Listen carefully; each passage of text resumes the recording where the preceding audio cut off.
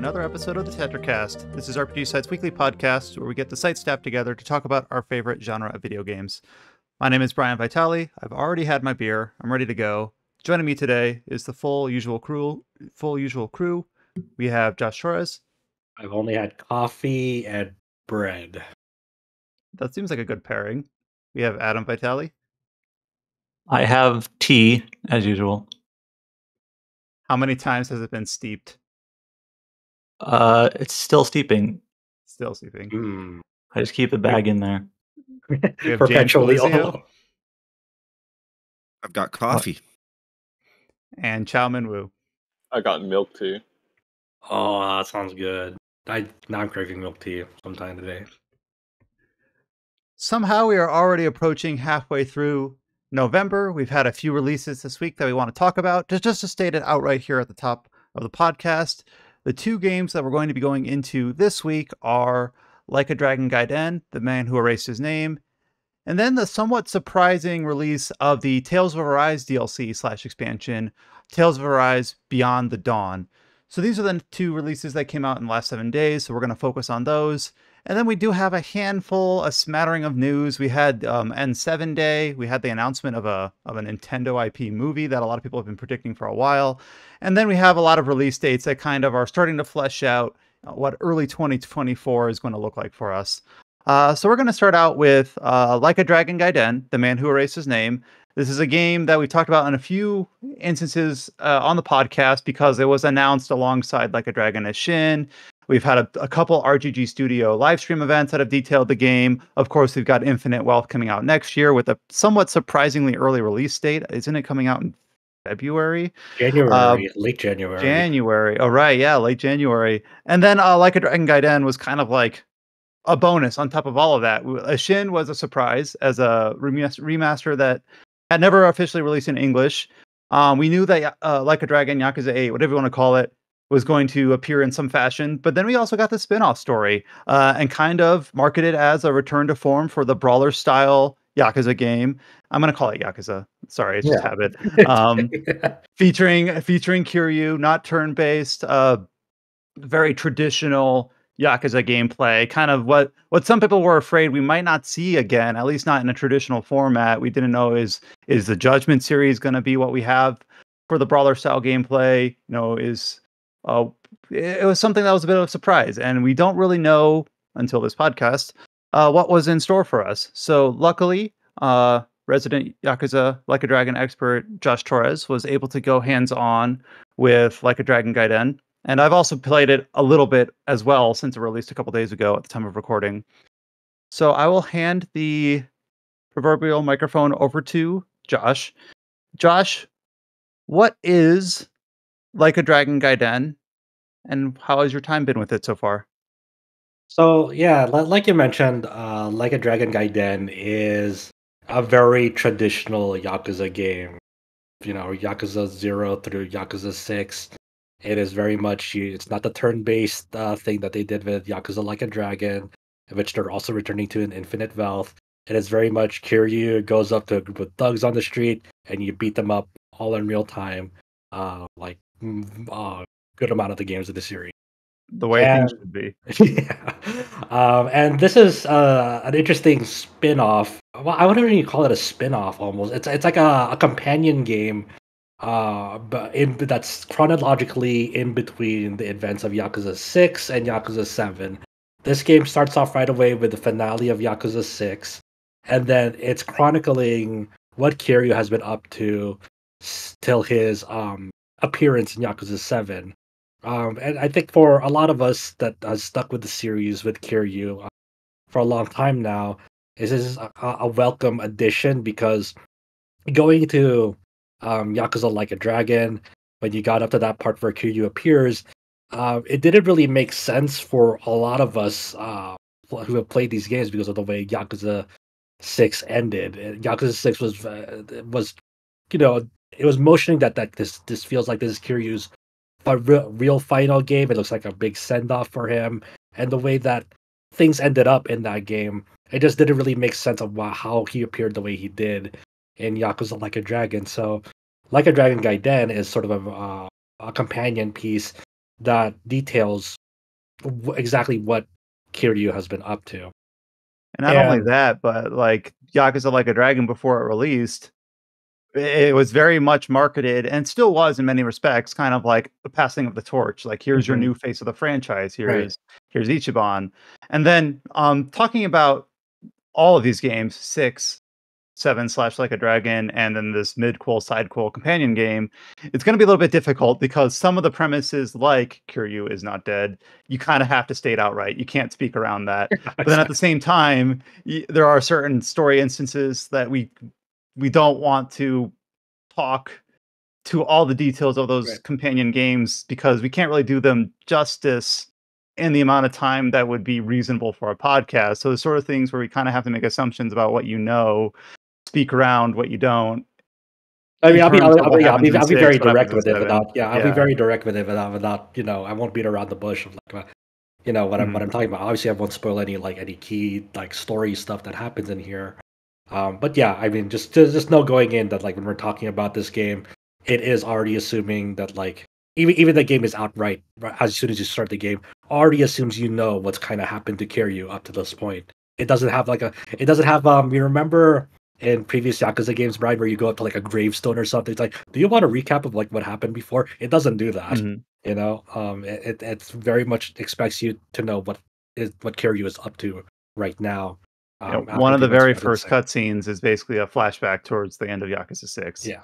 it is. A, it is. It is assuming you have played Yakuza Six. Yeah, and and that, that flashback will mean nothing to you at all if you don't have any context of what's going on in it. Basically, um, you know, so it's not that going in. Mhm. So, so um, the premise of this game, um, that at the end of Yakuza Six, uh, Kiryu uh pretty much faked his death.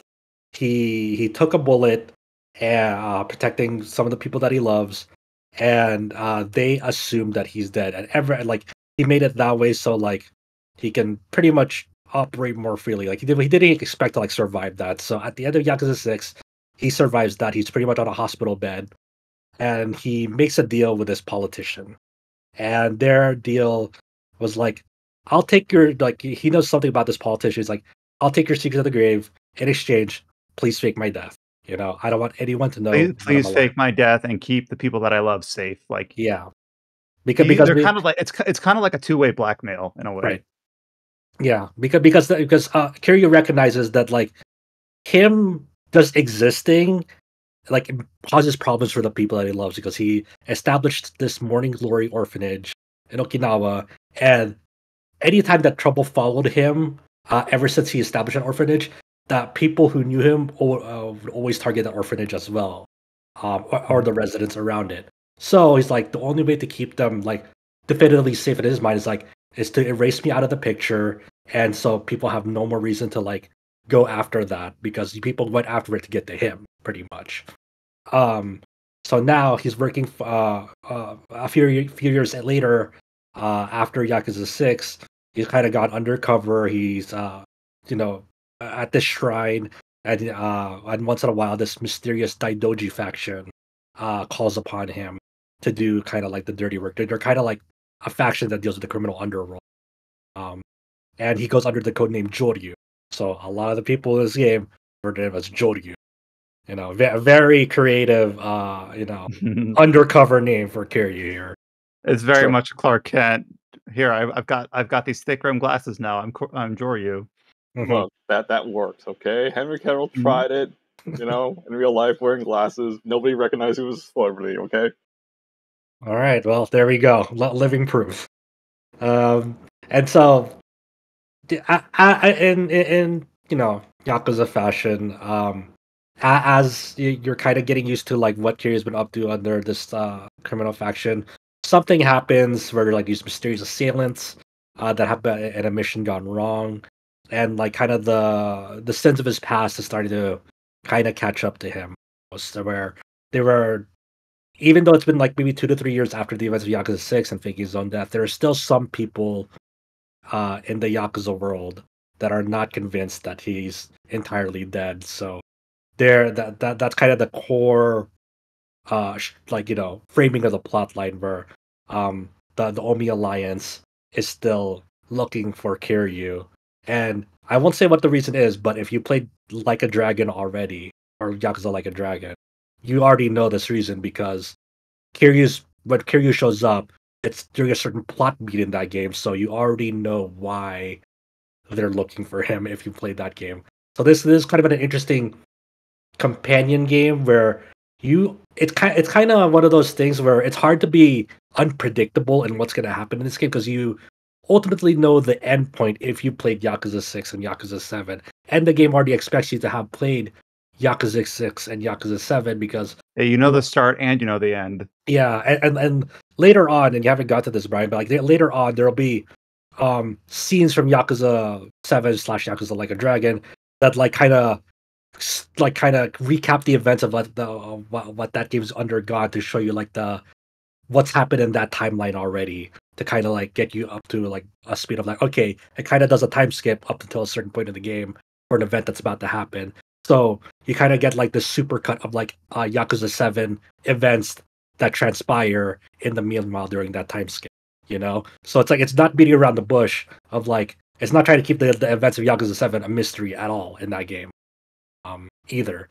So, so, so you, it's So, it's hard. it- so even though it takes place before Yakuza 7, it is and there's even a few things early on that it's clearly intended to be played assuming you know what happens in Yakuza 7. Yes. It's it's definitely uh, clearly a prequel in that specific context. Like there's even one point where uh, this is pretty early in the midquel or mid whatever you want to call this game where you're at the you're at the um the homeless camp in Yokohama yeah, and they and it very cheekily goes like, yeah, the guy that lives over there, I think he's been a nurse recently or whatever. And it's um speaking about Namba. Uh it doesn't show him, but it very clearly teases like, yeah, that you know, references to, to the other game. Isn't that isn't that neat? You know, isn't that exciting? And oh, Mhm. okay. yeah, yeah, and then the- the- this because you know there's all the while supposed to be showing what Kiryu's been up to, so it kind of gives it kind of gives those players who maybe have only played Yakuza Like a Dragon a certain like reference point in the timeline as well of what's going. On. Um, but You even go to the uh there's even an event at the oh I'm blanking on the name, the bar, Sunrise Surprise at Yokohama. I'm trying to think what it is. uh, yeah, yeah, yeah, yeah, I know what you're talking about. Yeah. the one letter um, it's a one word name that starts with S and I'm blanking on it. I'll look it up while you keep talking. Yeah, but uh, in terms of you know, uh, any if there's any surprising things in the story, like uh, uh, in general, like the the the story that they tell in this game is it's pretty self-contained, but it's like amusing enough. It's a very it's a it's a, a traditional like Yakuza type of storytelling, except they're just an all new crew. Um, pretty much like Kiryu is the the you know definitely on his own in this game. You don't really see many familiar faces that you've seen in the in the past when it comes to like the main story. It's pretty much a whole new plot. So you kind of have this um internal struggle between Kiryu um and the Daidoji faction early on where like um there'll be certain like requests that the Daidoji faction asks of him and like if he doesn't re- comply to those requests then amusingly enough it comes back it circles back to the core problem like if you don't do what we ask of you we're gonna go um attack the orphanage you know that you're trying to protect so you know once again being black uh, he finds himself blackmailed um for doing the you know engaging in things that he necessarily necessarily doesn't want to do but he has to uh to protect the people that he loves this time behind the scenes. Um and then uh aside from that it's uh the the main story is pretty thin uh, runtime wise if you're just casually playing staying to the the main plot you'll easily uh be under 10 hours in this game. Um so a lot of this game's content is padded out by side content which is fine honestly. I don't i don't really mind it that much because the the side content is fun enough. I just uh, the, the the thing that bothers me is the way that like they kind of integrate a lot of that side content into you can tell that they're trying to pad out like the length of the main story by having you go do other stuff um in it. So like for example uh there's this uh one very very early story beat where um Kiryu goes to Sotenbori um because he's been asked to find this um jack of all trades fixer named Akame um because uh, during an early story beat, uh, one of uh Kiryu's associates gets kidnapped, and in order to get him back, he has to go kind of participate in uh, has to go to another place, participate in something to get them back, or at least learn the loca- location of where they are to go get them back. So he goes to Sotenbori, mixes, uh, meets up with this fixer. Her name's Akame, and then um, before you go off and go to the other location to go participate in that said thing to uh, save that associate of his, he uh, like Akame keeps delaying it. It's like, oh, you know, we can't go right now. In the meantime, go do this other thing. And then it's like, it's like, okay, can we go now? It's like, mm, not yet, not yet. You, go, you have to go do this other thing, uh, first, uh, for me, please. And it's like, and it kind of, it kind of strings you along and delays story beats with kind of like almost minor errands that you know it's it's not the worst thing in the world but it, it, it definitely you can you can feel kind of like that stretching of of the main story to, and adding in kind of more things that's busy work and doesn't really feed into anything and that's also um another uh prevalent way of like seeing this uh sort of dynamic in the in the game is when there's a there's a, you you finish a story beat and there's this new thing called the Akame network. Since Akame network is this jack of all trades fixer, she runs this network and she primarily uh established herself as like someone who helps the homeless population in Sotenbori. But you know, as her network has expanded, like her assist network has expanded, her operations have expanded, and then so she sometimes dabbles into the criminal underworld too, uh, in terms of certain requests. Um, so this Akame network is something that you actually level up by doing like simple requests, like on the there'll be marked NPCs throughout Sotenbori, uh, and and the castle, which is the other place, um, where people will have very simple requests like, "Hey, can you go get this consumable me? I need like this health item. Can you get me this certain food item? Um, I lost an item. Uh, can you please find it for me?" And then usually it's like up above them, and you have to go use this new spider wire gadget to kind of, you know, get grab it and then give it to them. Sometimes it'll be like, "Hey, can you dress a certain way or look a certain way? Because that'll make my child happy." So you go to a boutique to go alter Kiryu's appearance, make him have a clown face, and then it's like, "Great, my my my child loves that. Thank you."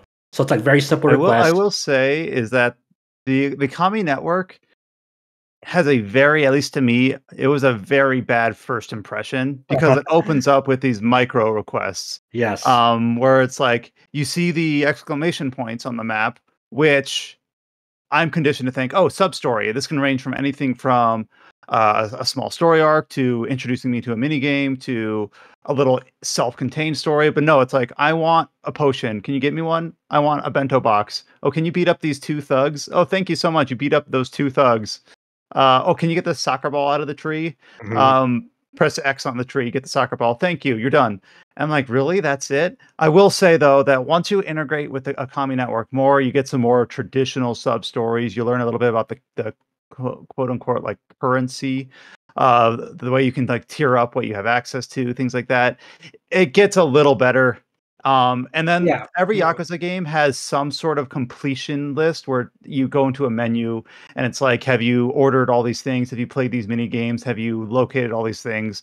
And it's very much a checklist that is very anyone who's played any of the Yakuza game knows of, and that's kind of been integrated into the Akame network. I'm like, oh, that makes sense. That actually is pretty good. Yeah, so, bad first impression. Once you go into it a little bit, I was I I softened on it uh, once I kind of yeah, introduced it a but, bit but, but that yeah, and, that's all to feed my main, uh, central point that like all these things you do feed into like an experience bar for the Akame network to level up. So, the, but there'll be some pi- some points during the main story that'll be like your main story objective will be like go level the Akame network to like level eight or something or level ten, and it's like it's like oh you don't have like a clear like it's like it's one of those things. It's like you're delaying main story progression almost arbitrarily just to you know because you want to level this Akame network up because they're, they're trying to get they're trying they're trying to you know kind of stretch the game out a bit more um so you get more you know gameplay time out of it and not, so a- at that at the cost of like kind of almost having like a fluid uh pace to the story Uh, which is That is you know like but reminding me of like another game that's done that. There's probably multiple examples, but I swear there's another game that has a very similar thing where there's some sort of tiered system that you have to meet benchmarks before it lets you progress the main story. It, it's, uh, someone mentioned it, and it's not it's not as egregious as this, but someone did mention it is it is the very familiar. Uh, Xenoblade Two Torna expansion. oh, yep, that's it. Mhm. where where you kind of you're, you're forced to do the community stuff in that game to get main story progression. Now it's not as like as egregious as that. It, it's it, it's pretty trivial once you start getting things going uh in it, but it's just one of those things like you just notice it's like ah my next main story uh beat is not going to this place to meet someone. It's to level the Akame network. Okay, and and then it, it also does this for like it'll have like it has there's a coliseum at the castle and one of some of the main story stuff is like go reach like gold rank at the coliseum it's like there's not really a, a, compelling st- plot reason for it it's just like please just get to it okay great and and and the, and the, and the main story is, reason is because the next story beat is at the vip lounge that unlocks at the gold ring arbitrarily you know so it's like Mhm. okay all right um and now, remind me. I hope my memory's not failing me. The castle is a new location, right? Yes, it, it, it does it's have just this, very it- similar to Purgatory, which is yes, okay. yeah. It, it is. It is a new location. The, the castle is like an offshore platform, uh, an entertainment district, secret to the outside world, on an offshore platform. That you know, the and, and yeah, it's it's very it's very very flashy. Neon lights, bright lights everywhere. Has a recreation replication of Osaka Castle uh, in it. Where But I remember, and I, I forget if it's Kiwami or Kiwami 2, or if it was in the original Yakuza Mhm. 1 or 2. But when you first go to Purgatory, you like go into like this submersible, and then you like go under the city, and then it's a similar thing where it's like, did you know there's a secret casino slash entertainment district down here? yeah, pretty much. and then and then and then it, then it shows up in several other games, and now it's just like this is a similar sort of thing, but it's offshore on a on an aircraft carrier or on an oil rig next to Yeah, bunch of- I- yeah, it's yeah, it's like like oh okay. Yeah, pretty much. It's uh, I'm not, I'm not I'm not really judging that. I'm like oh uh, couldn't uh, couldn't this have just been Purgatory? and then every time, and then every time you want to visit it, you have to go to, to talk to Akame and be like, "I want to go to the castle." And then, like, what's shown off screen is like they have to go call the helicopter to go get you to the castle. you know, it just it's whatever. You know, it's it's dumb, but it's I won't hold it against. It. but it's uh, I yeah, mean, it's it's dumb in the same way that Purgatory was dumb. yes, so- yeah. No judgment, no judgment rendered, despite how it might sound. Mm. Um, but yeah, um, in terms of gameplay, like you said, it's a it's a return to form of the bra- the beat 'em up brawler. The the main new thing in this game is uh Kiryu has access to you know his standard Yakuza brawler style, the more the the the familiar moveset of Kiryu that you've had for pretty much all the games up until up until this point. But the he he has a new style called Agent. Uh, Agent is a much more it's the it's you're kind of stuck with this stuff for like the first hour or so until you unlock Yakuza stuff because they're, they're trying to push you to, you know, explore like what makes Agent uh, different from the standard uh, brawler style. In this style, um, Kiryu is much more agile. He has longer combos. He has shortened damage, but he he has more combo potential. Um, so he he it kind of reminded me of Yagami from Judgment, uh, in a way, the way he moves uh, throughout it. Um, but the the main gimmick with Agent, he has, he has access to these uh, sci-fi gadgets, almost like a, a Mission Impossible esque type of like tech level, um, uh, integrating it to your to, to your battles. So like the first one you have access to is like I mentioned, this spider wire where you basically become uh sort of like a budget Spider-Man almost, where you're not really swinging around, but you can use it to uh, uh shoot out a wire, and you if you upgrade it, you can shoot shoot out more wires at once against people, and you can like uh shoot it at them and just leave them like kind of tied up for a, for a few seconds, or you can use it to flinging them around to other people or to environmental objects, or you can use them to kind of pull them into you, so you can like uh um uh get them into range of like your combos. You can even use it like in the middle of like your your your combos sort of do a ground bounce and extend the combo, which is really funny. Um, uh, other gadgets you have are like these drones that you can call in to uh, kind of distract and kind of bug people. Uh, you can call in a bunch of them at once. Um, you have these uh, these rocket boots that you can use to kind of uh, go around arenas and, and battles like faster. You can it to ram into people, and you have then like these ex- exploding cigarettes. Yes. You, you basically have a grenade, but it's a cigarette. Um, where you can you know toss it out, and then after a certain amount of time, it'll explode. And you can, if you upgrade it, you can toss more of them out and do like chained explosions, all that stuff. Well, what do you what do you think about this new thing, Brian? I'll be honest, most of the time I've been playing, I've been using both I've been using both the agent and the uh the other mode is basically like his Yakuza fighting style Yeah. mode. Um I did I have used the wire and the drones a lot. I don't really like the cigarette just because the, it, when it explodes it kind of like stuns you. I don't know if you can eventually make yourself like impervious to it. Um this the rocket boots are okay, but I feel like at least unupgraded, they don't they're not very useful. Like regular sprinting is just as good a lot of these they might become more utility once you just go and spend some you know there's an upgrade kind of i don't know if tree is the right word but there's an upgrade system very similar to other yakuza games where you spend a combination of either Akame points or just yen to upgrade your, your health your heat and then you know these these gadgets um and i haven't really interfaced with like the upgrades much yet Mhm. but i have been using the drones and the spider wire a fair bit okay. And, and what's uh like uh, you said like you're in chapter two right now? You said I th- yeah, I, I got I got through chapter one. I'm about partway through chapter two. Um, I did like the events at the Coliseum where there's a lot of fan service for uh series history. Mhm. Uh, it's like here here's a retelling of an event in Yakuza one. Here's a retelling of an event in Yakuza two. Uh, and in a kind of goofy, very Yakuza way. And it's it's one of those things where it's a little bit contrived, but I'm actually I'm like I I'm just gonna be you know just enjoy this. It's it's silly and it's good yeah. uh, in a, in a, in a way where if you haven't played those games, you're not really that, that'll be that'll be a hard question to answer. Like who who should play this game? Do you have to play every single other Yakuza game? Well, there's probably something in it for you if you have like those events at the Coliseum, but I wouldn't call those necessary. I, th- I, I, I, I think I think the most important, like, you'll get a better. I, I won't- I won't. Answer that question directly right now, but you'll get a better answer for that uh, question once you see the ending of this game. Um, as I Mhm. mentioned in, in, in my review, like, even if you decide to skip out on this game because, like, hey, I'm just waiting for the next mainline game.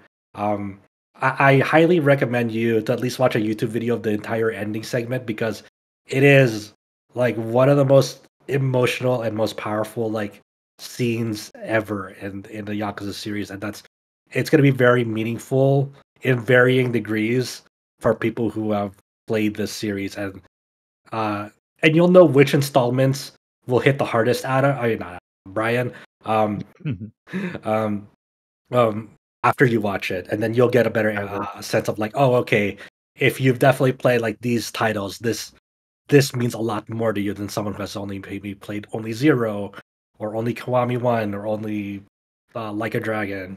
You know, um, Yeah, And, because uh, currently it's very clearly, and you could have guessed this just by where the game is placed. Is like you really, really should play six. You really, really should play seven. If you've played zero or yeah, zero Kiwami or Kiwami two, there's been little fan service moments for all three of those. Not so much four and five yet, but I'm sure they're coming. Uh, Like you, like as part of the game, this is very Yakuza.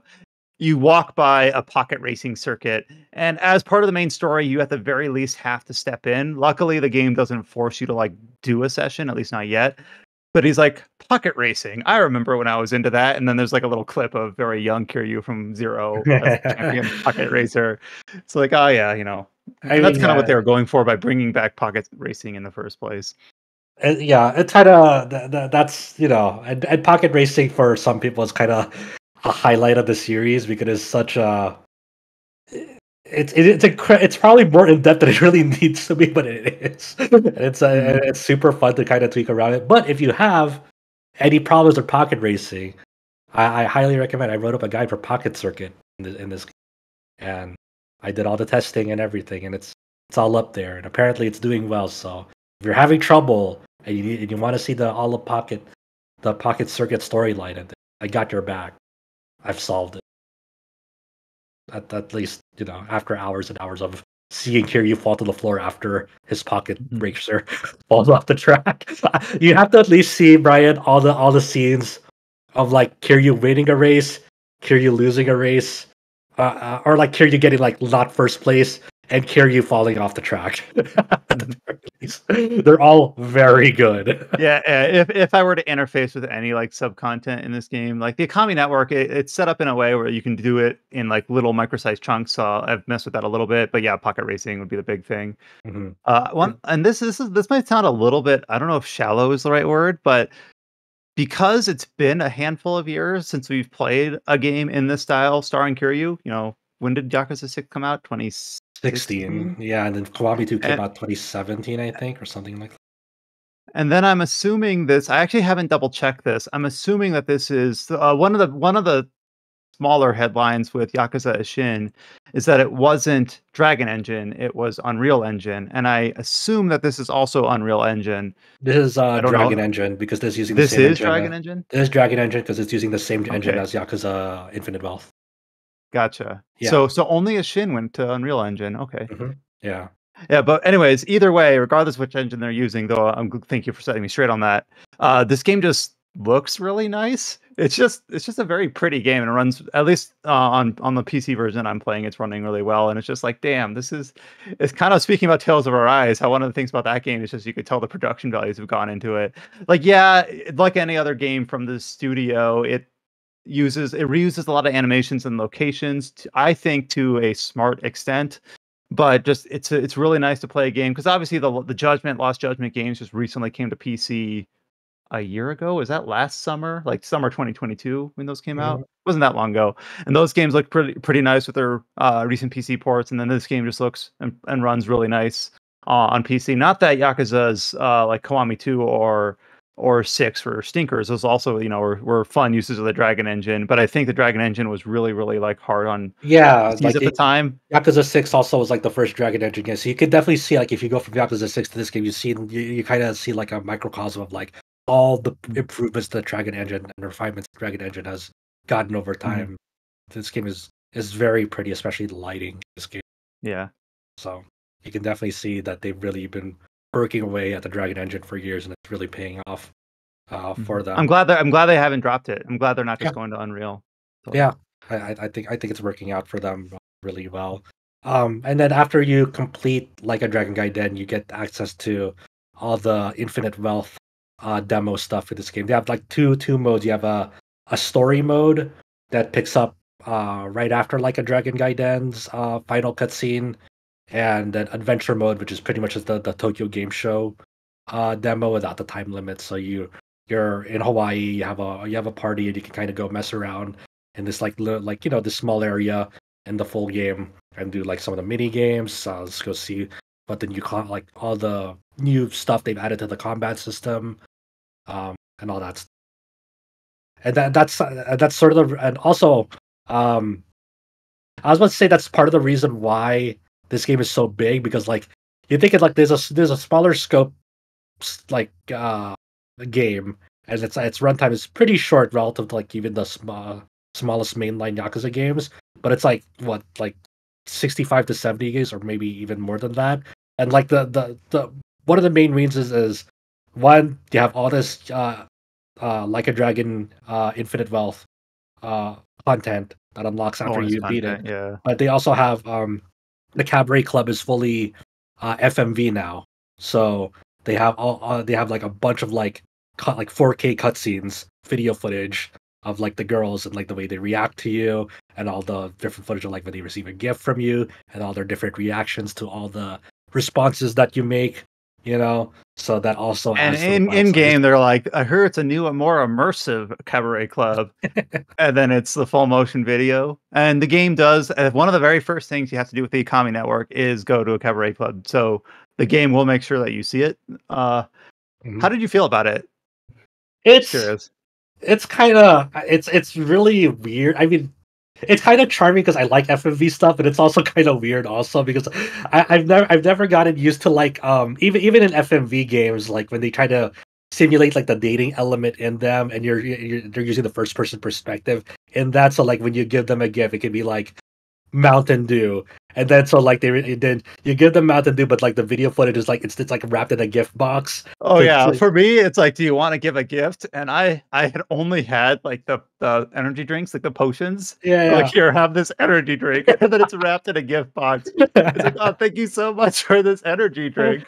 Right. Or it, yeah. it asks you for like, what do you want to drink? And like, regardless of what you pick, you know, because they're well, actually, I haven't tested it to see if like she'll hand you different drinks that they've like no, have it- different video it- clips. It's, it's, it's, but it's like here, standard this is this is whiskey. I promise. Even though you could select like sake or I don't know. I don't know. You can maybe just select like soda or Seven Up. It's like here's your drink that you requested. It's very clearly the one you requested. It's, it's definitely not the like you know the liquid color definitely does not match what you you know you chose. It's like the same standard drink in the glass.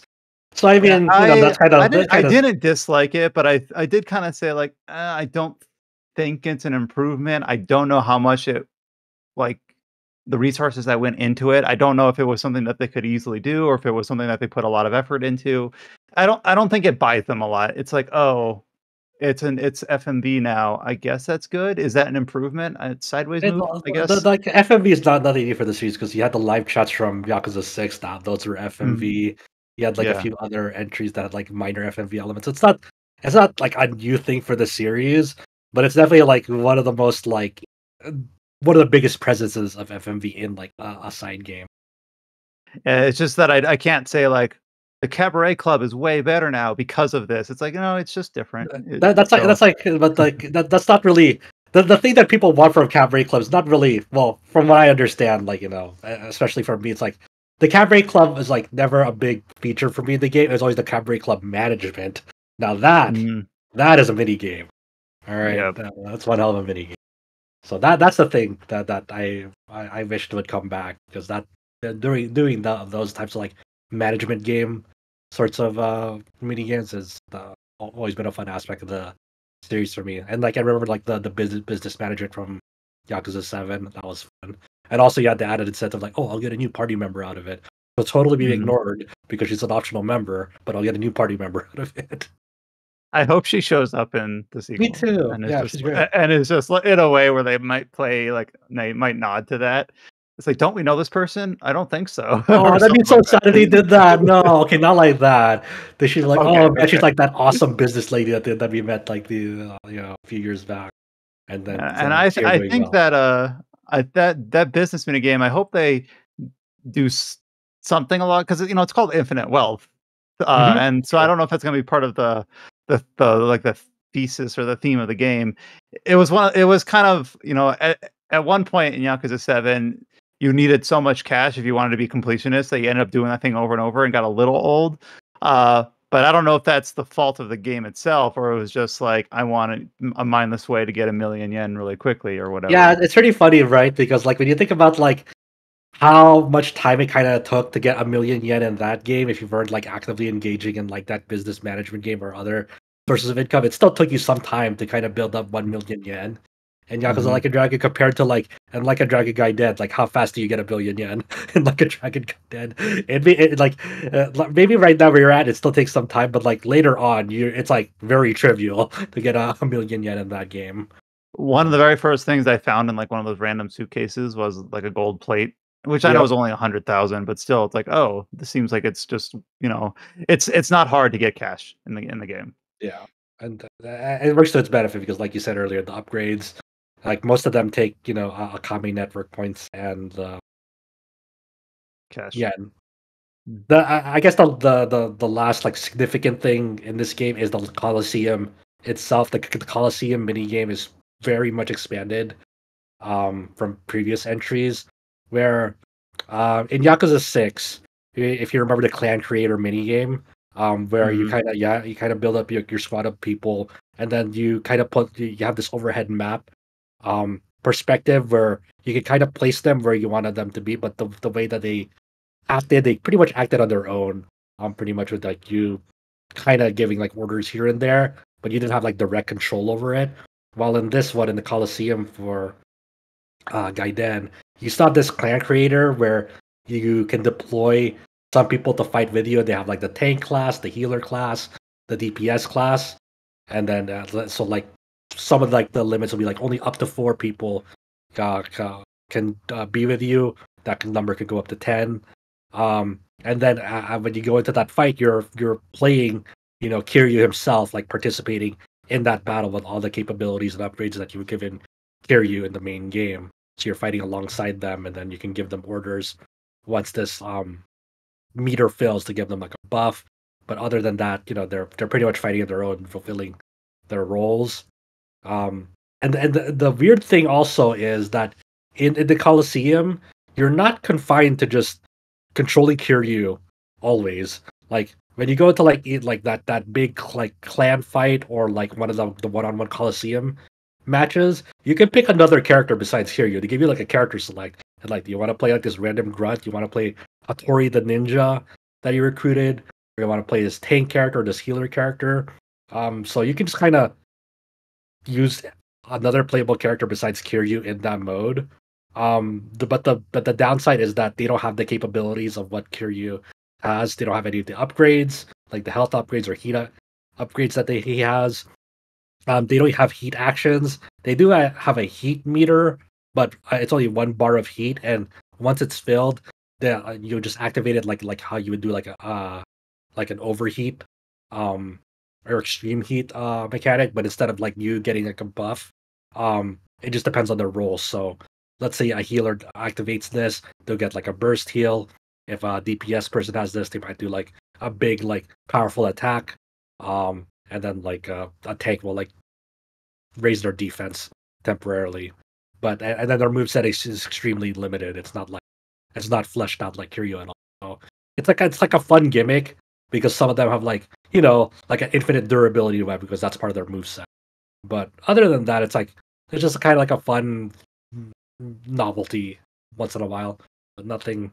It's kind of a weird. it's it's a very weird um inclusion that like having more options is nice, but I I think there's very little incentive to play other people besides Kiryu in that. Well, it's I, I always am kind of impressed to what extent like some of the side content mini games or that's not even a mini game it's just like a, it's almost like a side feature uh goes into all of these games and and they're often like they're they're iterated on from game to game but not in a way where it becomes repetitive like clan creator is not in every game or shows up Mhm. in different fashions Yeah. um i th- like as i've played through the series there's certain games that i get very completionist in uh like i, I think i was really completionist in yakuza 0 i picked yakuza 5 to be completionist in which is what a not a good one. Uh and then um so yakuza 6 i didn't. I think judgment i was pretty much main path. Lost judgment i actually did like all the school stuff Okay. which is the majority of the side content in that game. Yeah. um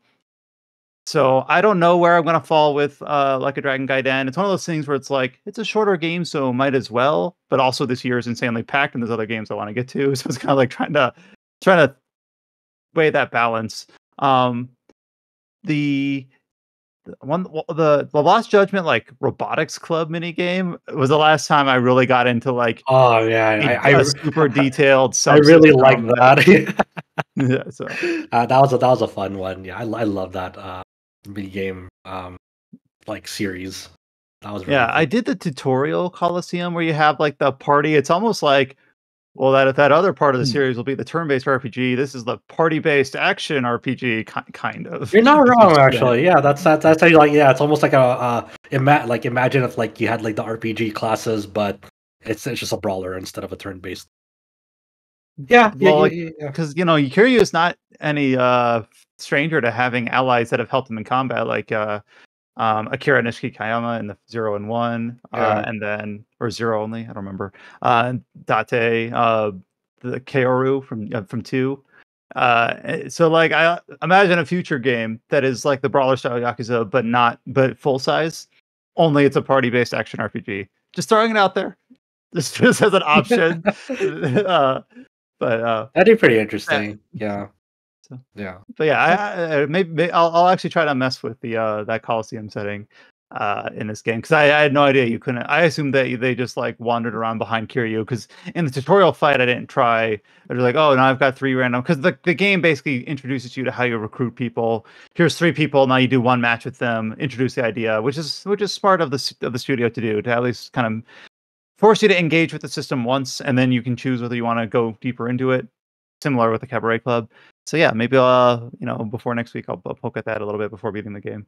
Yeah, that- let me know like uh, like uh, what you think of the ending cutscene in this game. I really Mhm. want to hear from you after you beat the game. What you what you thought? I will say that even though uh, it's kind of expected, one thing at the very outset of this story that's a little bit kind of I didn't take to it immediately was within like 15 minutes of starting the game, multiple people are like, "We know who you are. You're Kiryu. Let's see how strong you really are." I'm like, really? You're just a random grunt, and you're gonna like, you know who I am, and yet you're still just saying like, you're not as strong as I really say, right? It's like, do you do you know everything I've done for the last like two decades? One of my one of my the funniest things in this game is that like in the, in the main like there are main story cutscenes that you've already seen them like uh, uh, when you, dur- during that bar exchange with that uh, Omi Alliance dude, the Omi Alliance dude is like, uh, it's like you know Kiryu, we could, we really need your help with this. It's like, "Uh, hold on, first of all, I'm not Kiryu, but uh, suppose I was Kiryu, what would you have me do? but I'm not Kiryu, I'm Joryu. That the man you're talking about is dead. it's like Mm. it's so stupid. Uh, And, and once they kind of get that out of the way, it, it does kind of mellow out a little bit. But the the the first like 90 minutes of this game is like, we know who you are. We know who you are. We're gonna fight you anyway, even though we know who you are. and, and, and, then like Kiryu and like uh, as hand they're like all fucking surprised Pikachu face. It's like, oh my god, they know you're Kiryu. what? How could that be? It's like, oh man, that's it's that's it's really funny. It's so stupid. But yeah, I think you know, I think the studio was pretty smart to very clearly frame this as like a side game. I don't really like to talk about dollars and cents because everyone's coming from a different place when it comes to that. Right. But the fact that this is a fifty dollar game, like this is gonna sound boomer of me, but I remember when you know marquee PC releases, you know, were fifty dollars. That's the price of a PC game, and now it's like, oh, this this side story is fifty dollars because I just spent you know whatever eighty bucks on Diablo. That's that's the that's what a, a marquee PC game costs now. So and you know for for some people that matters more than others, but it's it's interesting that it is so close to full price despite being marketed and presented as kind of this smaller experience. And I I also just like you know I, I don't really blame people they want to skip this for eight as well because like they're they're releasing so close to each other and some people you know like hey I don't really have like, the budget for this right now because especially the holiday season is coming up and I have to like think about like presents for other people as well. Mm, So mhm. you know it, it, it makes a lot of sense why people might like skip out on this game and like just wait for the mainline game because you know it, it comes it's coming out at like a weird time where like it's on the cusp of like the the big holiday rush. hmm And not only that, but it's like, well, uh, it's a side game. Even if you are interested in it, I've got plenty to play. I- I'll wait for a sale, especially if it's a game where you can experience the main story in 10 hours, completionist in more like 40 instead of the hundreds that it is in a in a mainline game. I don't want to look at my Yakuza 5 playtime. It's long.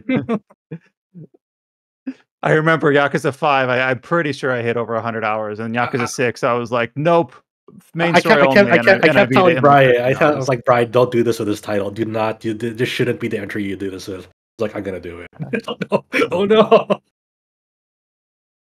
No, but uh, thank you, Josh, for bouncing some uh, conversation with me back Yeah. and forth about Yakuza Like a Dragon Gaiden. So, uh, a fun game, a good return to form for those that have missed this style of game. Though it kind of comes with some of the expected limitations in the way that it is kind of framed, both narratively and just the fact that it is sort of more of a of a side side quel cool. But but kind of what we wanted it to be, I think. Yeah, I, I, yeah, it's a, it's a very, it's a very comfy game for people who like, you know, Mhm. play these like, like it might be, it might be, not, it might not be like anything like too surprising, but honestly, that's fine because it's been how many years since we got like a solo Kiryu brawler beat 'em up, you know, and Mhm. and this could very well be like the last one of those too. Like, it's not, it's not out of the equation as well. It's like this might be the last solo Kiryu brawler. Mhm. Who knows? So the second game that we wanted to talk about that released in the last couple, I think it's already released, uh, and that is the expansion for Tales of Arise called Beyond the Dawn. Adam, did this one origi- uh, release already? Yep. I always make the assumption that the embargo matches the release date because it does most of the time. But every once in a while, you get one of those classic. No, the embargo's up, but the, the thing doesn't come up for two weeks. Yeah, this is out. So, John, you with- can buy it. Sweet.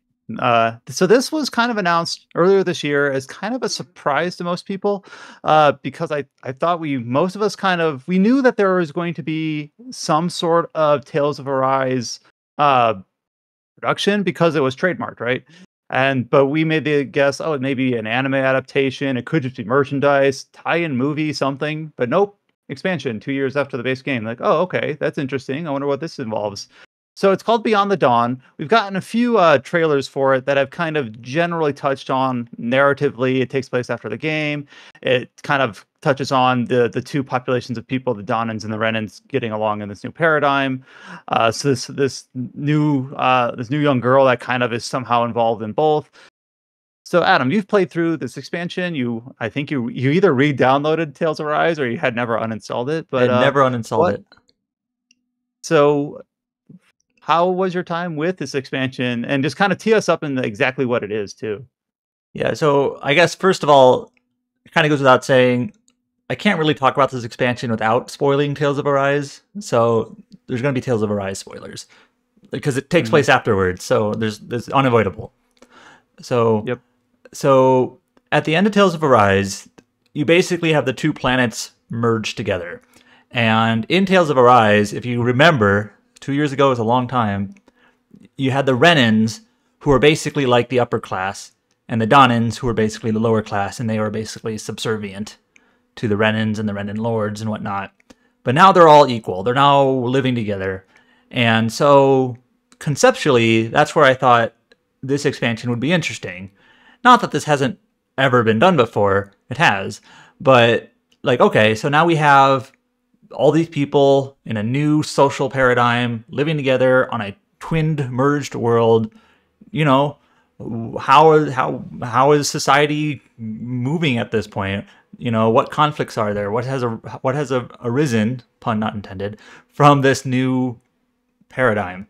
So that's where i thought okay this might have something interesting here in in this concept. How, how does nazamil the new girl uh, play a role in this? So nazamil her i'm gonna do there's gonna be some minor spoilers for the expansion. I might do full spoilers later but this is just a premise thing not a spoiler really. She is half renan half dahnan and that's why she has two different colored eyes because that's how eyes work right? Uh, that's the reason why she has heterochromia. Okay, that's well, i'm assuming. Okay, okay. but she's half Dan- Dan- Dahnan, half Renan, and she is the daughter of a Renan lord. She's the orphaned daughter of a Renan lord, um, but also half Dahnan. So she doesn't really fit in anywhere because she the Renans don't like her, the Dahnans don't like her, so she's sort of an outcast. And then early on in the expansion, like in the first ten minutes, you stumble into her, and she's basically on the run, being assaulted, and you save her, and she tags along. And so this expansion I remember we actually talked about it a couple of weeks ago. In the lead up to the release, Bandai Namco released a quests trailer for the expansion. And we talked about it on the podcast. We felt that was a little bit strange. Like, why are we highlighting basic quests? And like they're the same format, the It's, same it's like how to do a quest or what is Yeah. a quest. Kind yeah, of. like like a primer. It's we. I think I like to think a lot of people in this space are familiar with quests, and these are not especially you know extravagant, complex, intricate quests. They're very. If you play Tales of Arise, the quests are all very kind of fetchy in nature. You talk to a person, they ask you to like defeat some enemies or collect some items. You do that and you return. I'll, I'll be honest. I'll, I think that having that sort of like micro side quest sort of system in a game itself is not you know, that's fine. I don't think everything has to be a super elaborate story focused quest. I think it's fine to have mm. checklisty things, right? It just felt Yeah. strange to highlight it. Like this is what we're going to focus on for this expansion that you can do side quests. And it's just kind of like, okay, that's a a little bit strange. Uh, it's kind of a weird thing that you chose this to be a focus of your trailer. But after playing the game, it makes more sense because that is most of the expansion like 50% of it or more is doing these side quests. You don't have to do them, but should you choose to do them? So what I just mentioned about, um, you know, Dahnans and Renans living together, all the new main characters, they have like their own personal story. How they, how where have they moved on to past the events of Tales of Arise? Those show up in the quests as well, and so that's basically the side quest system is basically the framework in which they place these sort of like epilogue concepts, these epilogue questions and topics and subjects. And I just kind of felt that was strange, especially when like two things. The presentation of the quest is pretty much unchanged. If you play Tales of Arise, um, you talk to an NPC. Many of these are not voiced. It does a sort of like shot reverse shot thing where it's just kind of like very robotic, like hi, I'm a so and so and I need this. And then your characters might m- mutter a few things and they say, okay, well, if you get these things, then everything will be gravy. And so, I've And played then you get the quest. 16. I know what this is like. yeah. So it's, but, and, and then I feel like the majority of the quests, like 90% of them, are either take out those Zoogles. I just like saying the word Zoogle. Remember Zoogles? Yep. Anyways, take out the Zoogles or collect these ingredients for me. And so, like the the actual mechanic of the quest is pretty basic. It's just defeat some enemies that are marked on your map, or just collect some items that you pick up at the collection points around the map, and then you return, and then the quest is complete. And that's it. And so, like as one example of a quest, there's a well-meaning Dahnan. So Dahnans again are the lower class, and he notices there's like a settlement of Renans nearby, and he's like, I want to offer them food, like, you know, a, a show of goodwill, like an olive branch. Like, we're trying to live together now.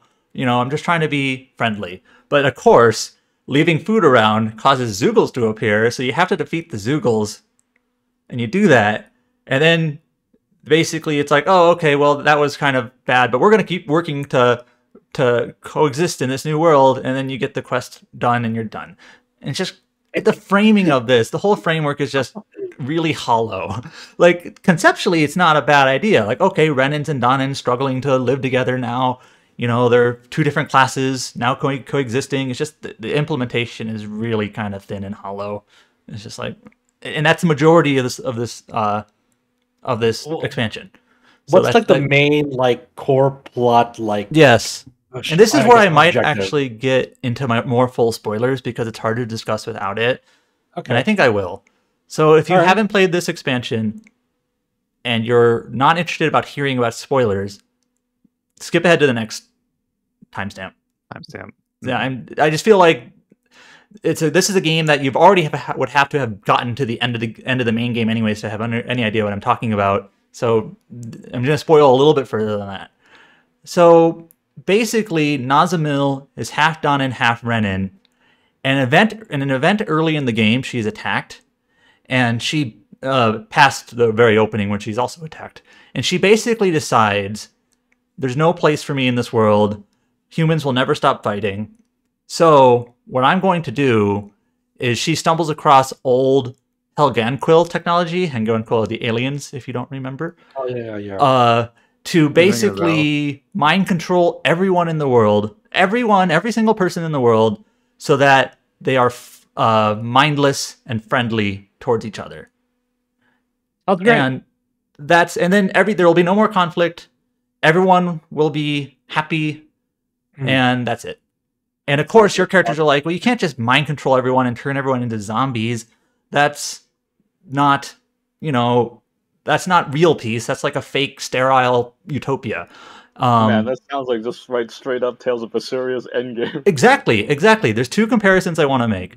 So, so the spoiler is is that you actually end up kind of in conflict with Nazamil, even though she's like well-meaning, she wants peace. Her methods are extreme, and so this in the Tales series, this reminded me of two other plot points. One, she's basically she's basically Mithos from Tales of Symphonia, a half elf, where she's where Mithos's uh, goal was well, half elves are always just going to be discriminated against. In order to remove discrimination from the world, I'm going to turn everyone into lifeless beings using Cruxis crystals, and then once that happens, there will be no more discrimination. It's very similar. Or what you just said, Tales of Berseria, Artorius, um, who basically is he lost his what wife and unborn child or his child, I don't remember exactly, to basically conflict and war. And he's like, in order to get rid of all the strife in the world, I need to rid the world of emotion because emotion is what causes conflict. And so the zombies. yeah, the end of that game is basically everyone's turning into zombies. Sure, it's peace, but it's not really peace. And so when this plot line started forming in this expansion, I was just kind of like, man, I've already seen this. I've already in twice at least in this very series. And so and I'm not going to say they're exactly the same. I mean, you could easily point out, like, well, Symphonia did it like this, and this expansion is a little different. I'm sure there's some differences, but just the overall broad concept of it, I'm just like, I've seen this before. It's not very interesting.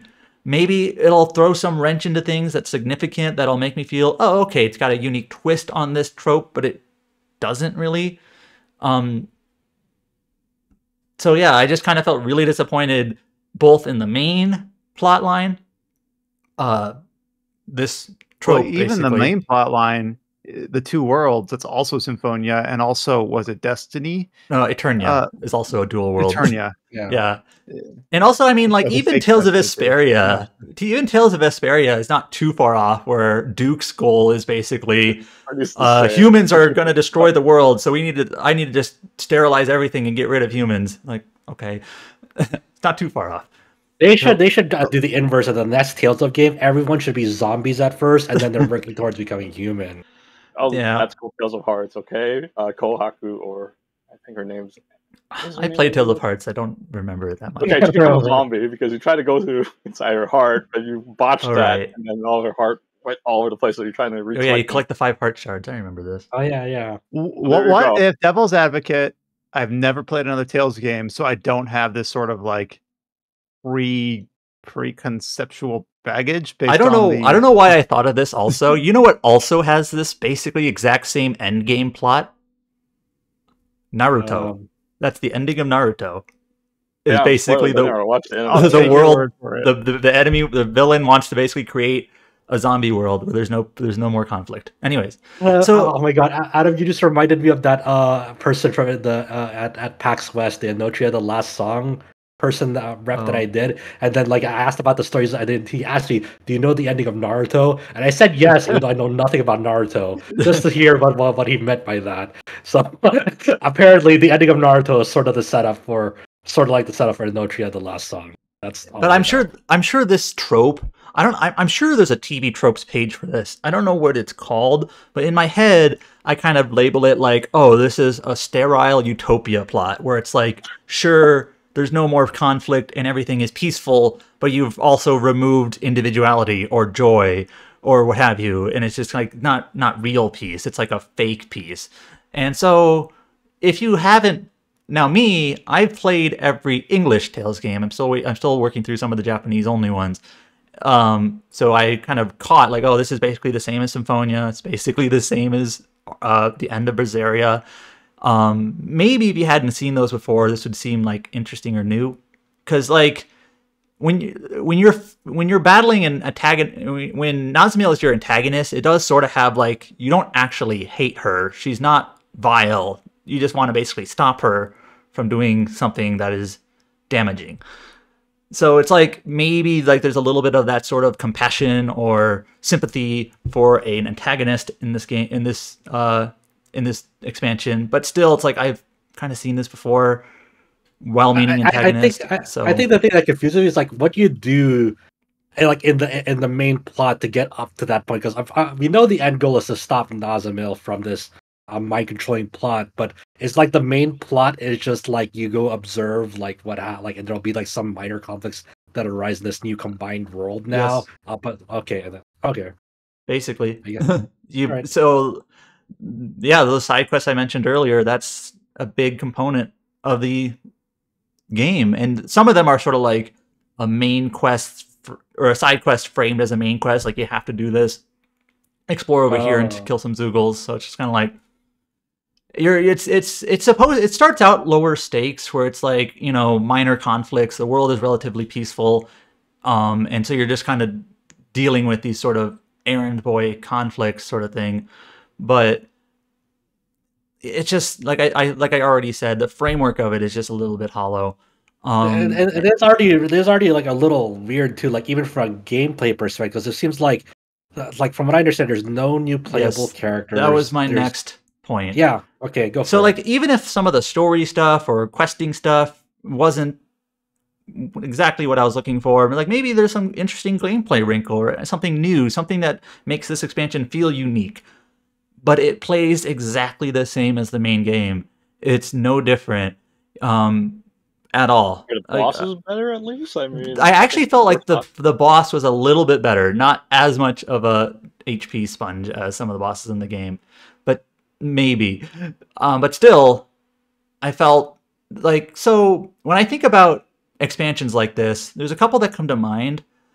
Um, if I think outside of the series, I think like okay, all three Xenoblade games had an expansion, like the new version of one, Torna, and three. They all have an expansion, and they introduce a new characters or like a new a take on the combat system. Like Torna doesn't play exactly like Xenoblade Two. There's a little bit different in how the blades and drivers work. You play as the blades, right? Yeah, and it's I remember it being a little bit different in terms of how you like switch between the two in in the pacing and whatnot, and what and and uh, like those make those expansions kind of feel unique. Like if you just ignore plot, ignore story, or things like that, they just feel different to play. They kind of feel like a different take on the game. They're built differently. But here it's like the exact same. It's more. And even if I try to compare it within the series, I can think of a, a few ex- examples. Um, this wasn't necessarily a DLC, but the re-release of Tales of Graces F, which is the one we actually got in English, it added a new arc. Similarly, it adds, a new arc. It's not a DLC because it's in the expansion. It's in the re-release. It was called Lineage and Legacies, I believe, something like that. And it added the Accel mode meter, and there was a whole mechanic tied to this, including a new mystic art for each character. So no new character, but like it kind of the, the way we phrased this before, it like added a verb to the to the combat, like a new wrinkle in things, like it added to it, it layered to it, and like okay, this feels different, it's new. Or I I think this game is the worst Tales game I've played. Tales of Zestiria. I don't like Tales of Zestiria. I'm really sorry, Zestiria fans. I think it's bad. common sense. I think. Um, it added an it had a DLC. This is sort of a silly one. The, this DLC's selling point was it added Alisha back. So Right, I remember I, this. I wrote a review about that game. I gave it a six out of ten, but not not with RPG site though. I wrote it on GameFAQs. yeah, saying I, I didn't like it. But anyways, that that DLC is sort of silly because you you get Alisha for like part of the game and then she's removed, and this is sort of like here you can have her back. Eh, But at least it sort of felt different. Like, oh, okay, I have a new character I am playing with, with new moves and mechanics and whatnot. You know, it just kind of felt different than the end game of Zestiria. Um, although that DLC was also very bad. Do you remember those cauldrons? And that DLC was basically just a bunch of cauldrons, which are those. yeah, like, we were talking about battles. that the other week. Yeah, it's just like the wave based. Yeah, it's it's- almost like a anyways mode. but my point is is that at least both of those tales examples one of them being literally a dlc and one of them being more like a re-release edition both had like a new system in play or a new character you know something that felt different and even like even like fire emblem recent fire emblem games have expansions that maybe not be great but they add like different characters or different maps or different you know classes or units or styles but this expansion just has no differences. It's the same. So it, it has like that that one new dungeon. yes. I- I- yeah, I guess. there's there's actually sort of like two new dungeons but the first one which you play relatively early is very simple. But at the end there's a final dungeon in this game that is kind of cool. Like it's got kind of a cool style and aesthetic to it but if you really boil it down like most tales of arise dungeons it's really just a battle corridor there's not really much in the way of puzzles it's more of just working your way around the path you know you, we have to like defeat mini bosses to unlock doors but um my my point here is is that the Tales series hasn't really had decent dungeon design since like the Graces Vesperia era. Sorry. Um That's yeah. I'm thinking like They- eh, yeah. they, they yeah. bottomed out with Berseria, and then they Yeah, got like, slightly better since. Xillia's had really- like straight paths and repeated open worlds. And Berseria is a game I actually really like. Yes. Is a game that I'd say it is a good game that I recommend playing. The only drawback is that its dungeon design is not great. I, I- that's the main over drawback. Persona 5, I, said it over I, t- I, I, everything. tell, I tell people to, like the, the, the thing that you'll struggle with, with most in Berseria is like not falling asleep like as you explore around dungeons. Yes. That- So, but Tales of drawback- Arise's dungeons, if you played them, they're not really like. When I think of dungeons, I still think of like Symphonia, which Symphonia had a lot of like puzzles, a lot of some block pushing, some door opening. Uh, some of those dungeons went overboard. Escort, like escorting the, shadows. yeah, and the shadows. They that was actually better in the PS3 re-release. I don't know about the newest re-release. and, and, and, then, and, then you, and, and then you, and then you saw how watered down they could uh, get. yeah, with all the and they've kind of gone the exact opposite, where there's like no dungeon gimmicks at all. It's pretty much just like open your map and follow the path. So that that's the, so there is a final dungeon, but it's really just that again. Um, The, the one- the one like dungeon I remember from like a rise like is like manipulating the elevator and that's it. oh Like, yeah, there's like a there's like an elevator. yeah. You, you go to different floors and you like Yeah, yeah. that's all I remember from So slightly better. But yeah, anyways, so when I came to like when I came to a when I approached this review, um when I well first of all I'll mention I'll put it this way. Uh when we shared my score, I gave it a 6 out of 10. Um which 6 out of 10 to me, I've said this a couple weeks ago, is like it's not broken, it's not bad. If you like the combat, if you like the characters of Tales of Arise, there's a lot more skits between characters. The combat, like I said, is unchanged. So if you like it, it's more of it. And like the story isn't like necessarily poorly told. I just kind of felt like it's overdone. So I kind of felt like it's a disappointing expansion, but if you're a really big fan of the game, you'll probably still enjoy it in some sense. Now, again, there's that whole dollars element to it. Like, is this worth thirty dollars? Not sure. I should mention that uh, they they advertise this as being 20 hours long. I beat it in 13, and that's including all doing all the side quests. That's including finding all the chests and whatnot. So it's you know I was pretty completionist on it, and I beat it in 13, 14. So and that's and that's not new. Like I mean, I'm just know, I'm just saying for information's sake. Like if you're wondering how long Oh, is yeah. this, it's that. Um. But anyways, uh, so when I didn't hate Tales of Arise, some people saw when we scored this, are like, you just bashed this game anyway, and it's like that's not really true. Um, I I thought Tales of Arise was fine. I don't hate it. It's not as Zestiria. Sorry, Zestiria fans. It's not my favorite either. I just felt it was fine. It was okay. It had strong suits. It had weak parts. And I was curious about the expansion. And that's really the reason why I review anything, is because I'm curious about it. Not necessarily when we review something, are we always like, hell yeah, I'm hyped. I'm so hyped for this, you know? So I was just curious. And I wanted Well, I to think try for it. Arise, working against it is that you know Tales up until that point had been basically an annualized franchise, and it was kind of like junk food. And I say that without really much judgment. It was like you know what you're gonna get. It's Tales game. It's got a very like well-worn pattern of well-worn. You know, it, it's tropey in a way that you know it's comfort, comfort food. And then Arise, you know, we had was it was it Berseria was, and then we had kind of we had some mobile projects and some other things, uh, and then it was you know Arise was announced at an Xbox conference in like 2018 or so, and then it went dark for a while. Like we hadn't seen it, and it was like, what can a Tales game be? Yeah, so Like, Berseria and- released in 2017, I believe, in the West, because that was delayed. And then and Arise, then Arise was and then Arise 2021. So like three, four years was a long time. And I think I think this is kind of your point, where Arise still kind of has that junk food feel in a way, despite being like much higher, I guess, presentation values. But mm-hmm. like it's in a sense, not with much judgment, it is a Tales game. But yeah, you- and you might does say more like, well, scrutiny. exactly what I want. So why? Yeah, Right. so yeah, I do think it just inherently got a little bit more scrutiny because of the way it was announced to the world. The, the, the series had gone dormant before it released. Uh, it was more more marketed as kind of like a, a reimagining of the franchise, and then it didn't it didn't end up quite being that, and that's not not not necessarily a bad thing. It's like oh okay, it's it's it, this is what Tales is, and just kind of a reminder of that.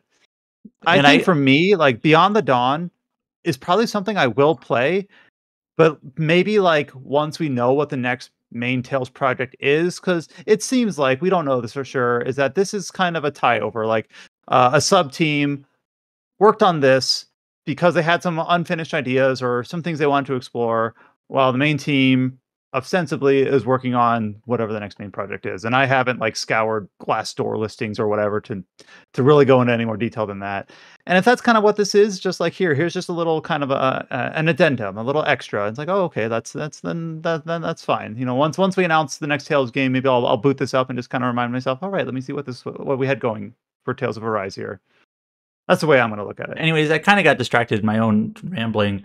But like Oh, when I approached this DLC and I approached my review of it, I basically stated up front, like, you know, I was curious about this DLC and I went into it with good faith. Some people are saying I had bad faith. Like, no, I was curious. I was genuinely curious. Um, but yeah, like the side quest, like uh, framing to all the you know these epilogue kind of topics. The main plot line kind of feeling like he's been done before. That there's no new wrinkles in combat or gameplay, not even little ones. Like there's no new arts or anything. Um, I just kind of felt it is just in a sense more Tales of Arise, and I wished it was more than that. So that's it. I think All that right. that is referring to me because it seems like I'm always talking about a product that I like really initially, then I dislike it later because after seeing the full product, there's certain things that probably you know tick me off, and that's probably referring to me. But you know, they gotta look at it. You know, the reviewer, whoever reviewed it, was a completely different person. guy that reviewed, you know, Tales of Arise is Scott White. You know, Yeah, Scott was really high on the game. He gave it a nine, and his opinion is, is as valid as anyone's. You know, he really liked it. He's really looking forward to the DLC. I think, I think he would play it, but he's got another uh, uh, assignment. He's got another review. Yeah. Yeah, yeah. So, actually, I think he's already done the preview. He's reviewing Super Mario, so he's he's doing that right now. So he posted a preview for that this week. But um, but yeah, that's that's the expansion. Um, I'm trying not to sound too like critical, like I just hate it. But you know, it was just a bit disappointing to me. Nope, and that's valid. Like uh, the only thing that we can ask is that we're honest. We're not just going to pretend to like it more than we did or bang, bag on it more than we think it deserves. It's just just pure honesty. Now, So we kind of have. I want to point out one Oh, more thing that's just sort of fun. Sorry. Alright. Um, No worries. So I don't know if we talked about this on the podcast or not, but I remember we recently hit like this summer the two year anniversary of Scarlet Nexus, and because Yes. that came out just shortly before Arise, right? And um, so, the yeah. producer of that, Kenji Anabuki, basically Is a bro. said um, that a sequel is not in the works right now. He wants it, but it doesn't seem like it's happening. Um, but he's been We back also on, want it. Yeah. We also Uh, want it. and um, but he he's back on the Tales team. He mentioned, uh, um, don't don't quote me, but he like implied that he's working on Tales. His his name is actually in the credits of this expansion. Uh, not as like a lead or really any important role, but it's sort of an amusing one. So this expansion, in a way, kind of brings back that Tales kind of running gag of like poorly drawn uh, portraits. And he's in the credits, Kenji Anabuki, the producer of Scarlet Nexus, as the one who drew those, which is sort of fun. Uh, goofy portrait artist. Uh, I think it says "Sketches of Our Friends" is what the role is called, and I think a he, I think, I think he, uh, I think he kind of did some weird, fun, goofy Scarlet Nexus sketch fan art too of that style. But yeah, I- I just thought that was sort of amusing to find his name in the credits, not as like the producer or the lead or writer or anything. He's just like, I wrote, I drew this goofy portraits. It's fun. Nah, there should be another Scarlet Nexus. Well, thank you, Adam, for talking about your time with Tales of Arise Beyond the Dawn. So I kind of see these two games, Yakuza Like a Dragon, uh, Gaiden, and Beyond the Dawn. They're they're kind of very different games, but similar sort of experience in terms of like their scope and what people are expecting out of them as kind of like holdovers for the next main thing. So hoping to put time into both of these before the end of the year.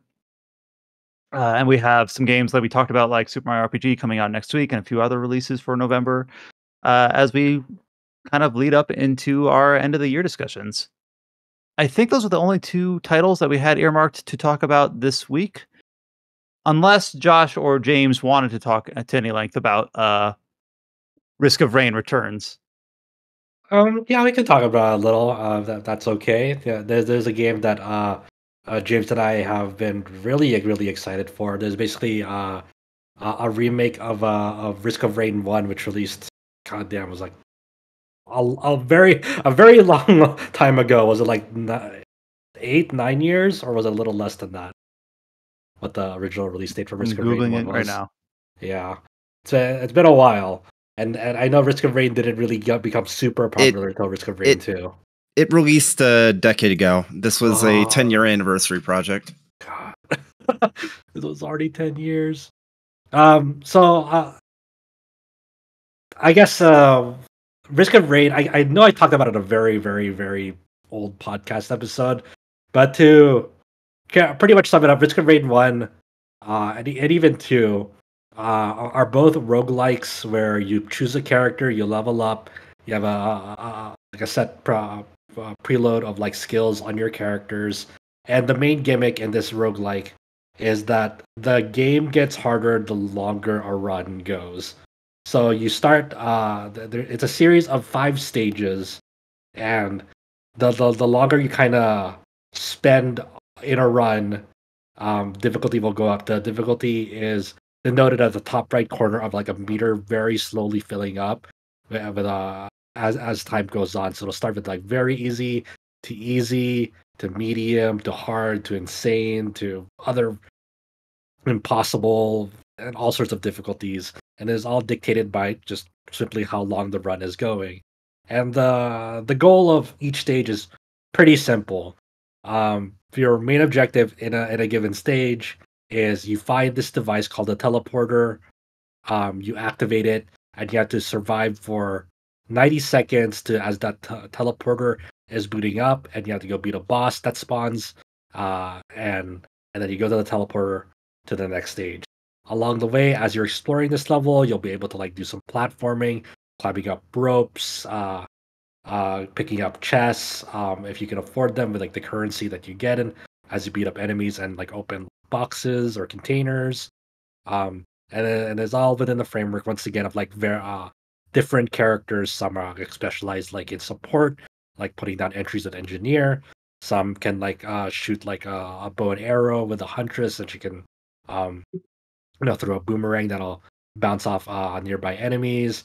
You have your standard commando that is has like dual pistols and is uh very good at like kind of putting on like dps pressure and hit stun. Uh on um like medium range enemies you have a sniper that is uh specializes in very long shots and stacking up critical chances for like that one big shot um and so on and so forth. And uh the, and risk of rain returns is uh that original concept but in a much much more bigger fashion in the sense that they added more characters. You now have like these challenge trials called providence trials which are like kind of like challenge stages that give you different like alternative skills uh for some of the characters added like skins like cosmetic like colors uh to them. And also um kind of like one of the one of the biggest uh overhauls to the game is that you can now just seamlessly play with other people in multiplayer because originally you had to do some port forwarding and all that fun uh, nonsense uh, when uh, network infrastructure and uh, multiplayer games still was it wasn't as standardized or streamlined or as easy as today. Um, so that that that's easy now, and and you know this this takes into account a lot of like accessibility features that have been more more, more prominent in games with different um, sorts of um, uh, control styles. Um, inherently supports controllers now. It uh, like has accessibility features like player outlines, how how zoomed in do you want the game to be, um, and all sorts of that. And even even like in um, multiplayer, you can set it so like uh, each person can decide like what difficulty they want to be on. Like say one player wants to really challenge themselves and goes to like the the hard monsoon difficulty, while another player just like, hey, I don't want monsoon, so they can uh, set like normal difficulty for them, and they can still play in the same session just fine, like that. So, uh, it's it's been And they and they Um, backported some of the additions from the second game right, into the yes. first, right? Yeah, so you have uh features like category chests, which are basically colored chests, and they limit the pool of items that can like uh, pop up, and then like it could be a, a utility item or like a support item um, from those like uh, some of the category chests that were introduced in Risk of Rain 2. Um, Call of the Mountains uh, from Risk of Rain 2 are basically like these little shrines that you can tap on to um, modify the incoming boss in a way where like more of the boss might spawn or might have like a different suffix that like gives it different modifiers. So like the and then in in in return you might get like a better drop or multiple drops because more of them spawn uh, if you do like these call of the mountain. So little stuff like that too that are smart additions to this game, but that, that doesn't really ruin the spirit or the or, or the feel of Risk of Rain One because the main difference from Risk of Rain One to Risk of Rain Two um, is like aside from system changes, the the immediate big change is the perspective where Risk of Rain One is all fully 2D, uh, pixel based, and it's it's very very zoomed out um, because you're trying to see like you're trying to find stuff throughout the stage from this 2D perspective. While in Risk of Rain 2, it was a fully 3D uh, version of it. It's over uh, behind the uh, third person behind the character perspective, and it's uh obviously its level design is much more, you know, kind of fully fleshed out to uh, account for the 3D uh, change of perspective. Perspective Risk of Rain 2, while in Risk of Rain 1, it's uh, very much like platforming uh, stages and uh, maneuvering around it uh, as you're trying to find the teleporter in that. But yeah, it's a. I, I've been having a blast. It's an. It's been just kind of like a bit bigger and better and a more improved version for one one of like one of my favorite games. Like, um, I don't know if ever, but definitely a game that like I played again and again and again. Uh, many many years ago. Like I have like easily like like over 80 hours in the first one it just hooked me in a way that not a lot of like games of that type did. I guess. Uh, what do you think, James, on this on this Risk of Rain Returns? I mean, it pretty much seamlessly replaces the original. Don't mm-hmm. think there's any reason necessarily if you if you haven't played Risk of Rain 1 and you wanted to play one version of it, there's no reason not to play Returns because you even have options to turn off all the new shit if you want to see how it was like originally. Mm-hmm. So, but with the quality of life, like the network features that Josh talked about and things like yep. that. Yeah. So it's just like there's like a lot of really cool like touches uh, on it. Like at the at the ending credits, when you beat a run, it'll show you like a, a compare contrast between like the old uh, pixel sprites to like compared to like the new one for enemies. The logbook, the bestiary uh, that you uh, c- can collect from enemies, they all have like uh, like way better like artwork in them, like like new and improved and like just full like better all around. Um, there's a there's a fun little twist to like the final boss in the game now that wasn't in the original version. Um, and yeah, it's just it's just a, a lot more. And I know I'm gonna get a, a ton of hours out of it again. Um, you know, but, it, it's a it's a very good. The the reason I got like so much gameplay time in the first one wasn't because of like long gameplay sessions, because it was a very easy pick up and play game. Like, hey, I want to play something for like I don't know, like 20, 25 minutes. Like Risk of Rain Run was always a good game just to like pick up, play, and have a good time. Whether it's I watched you and Josh play a little bit of it, and it does seem like the sort of like I've yeah, got 30 minutes to kill. Let, let, me do a couple runs. Mm-hmm. Yeah, yeah. So it's uh it's that I guess that's just my the, the, the little other thing I've been playing besides like a Dragon Gaiden. It's like, hey, this really fucking fantastic game a re-release of a game came out, and if you if you're interested in it, it uh, it's pretty damn uh, affordable. It's like thirteen bucks in its first week. Uh, well worth the price because you're gonna if if it, if you get hooked hooked onto it, it's you're gonna get a lot of hours out of it. Well, thanks, Josh and James, for covering uh, the uh, release of Risk of Rain Returns. Not in our normal wheelhouse, but I know something that other people who have been interested in playing it. Very sneakily high popular game in terms of how many people have played it on Steam. I know you and jo- jo- uh, sorry, you and James were talking about like its concurrent player numbers versus the original, and it's let me see here. The original packed uh, peaked out at like five thousand concurrent. Risk of Rain's returns. Steam charts. Let's see. Oh yeah, this is this is uh, Forty five thousand. So yeah, like Yeah. tenfold what the original did. It's it's uh, man. doing gangbusters. And that, that it's also that also helps us because like Risk of Rain two was mega popular. That that a lot of that popularity seems to have you know, uh, come over well. Well, with those three in the books, we'll go into the news.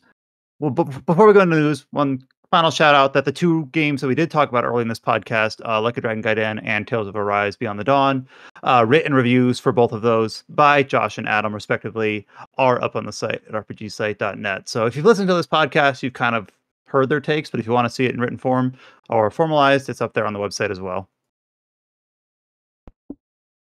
Not a lot of major headlines for this week, but we'll go into the couple things that were announced. Uh, of course, November 7th is N7 Day, which is always the day that uh, fans are eagerly anticipating to have meaty, real news regarding the untitled next Mass Effect project. And we did get a little bit of a tease from N7 Day 2023 for the next Mass Effect project. Uh, the result, as you go to the website now, is a little 30 second teaser showing a character in like an N7 branded trench coat walking down a hallway. Now, Adam, apparently, like the way this was actually put together on November 7th was a little bit more intricate. Uh, they that? released like three mini mini teasers that were like six seven seconds long, and then at the end of the day, they put them together for a thirty second teaser, which is what which is what we shared on our post. So unfortunately, I'm not like like I have I've played all the Mass Effects, including Andromeda, but like in here, like I haven't scoured this to like where is this character walking in? Do we know this location? I- Do we have I- surmises of who this character might be? like I am interested in Mass Effect, but I'm not interested enough to like try to like speculate like tiny minute details based on like the color of the sole of his shoes or something, you know? Um so like it's a character in like a trench coat with like a helmet and they also sent out like a render of this character.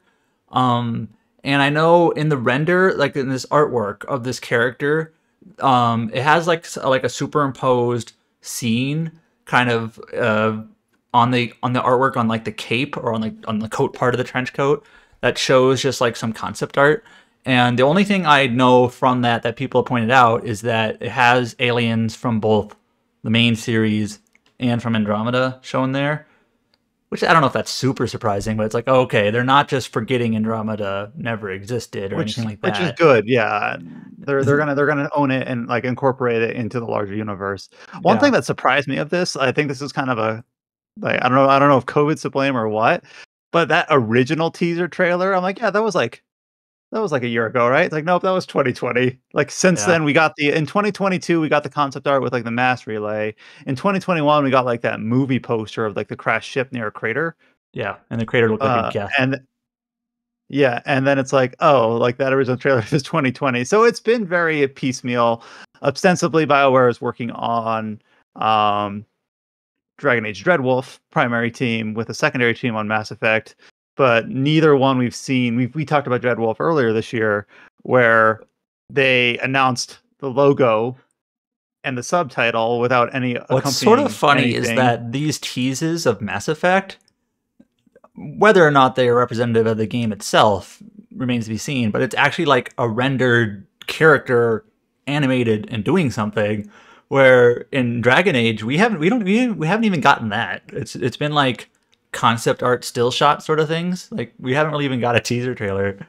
Sort of funny. hmm So we're kind of in the same like so one another N7 day is come and gone.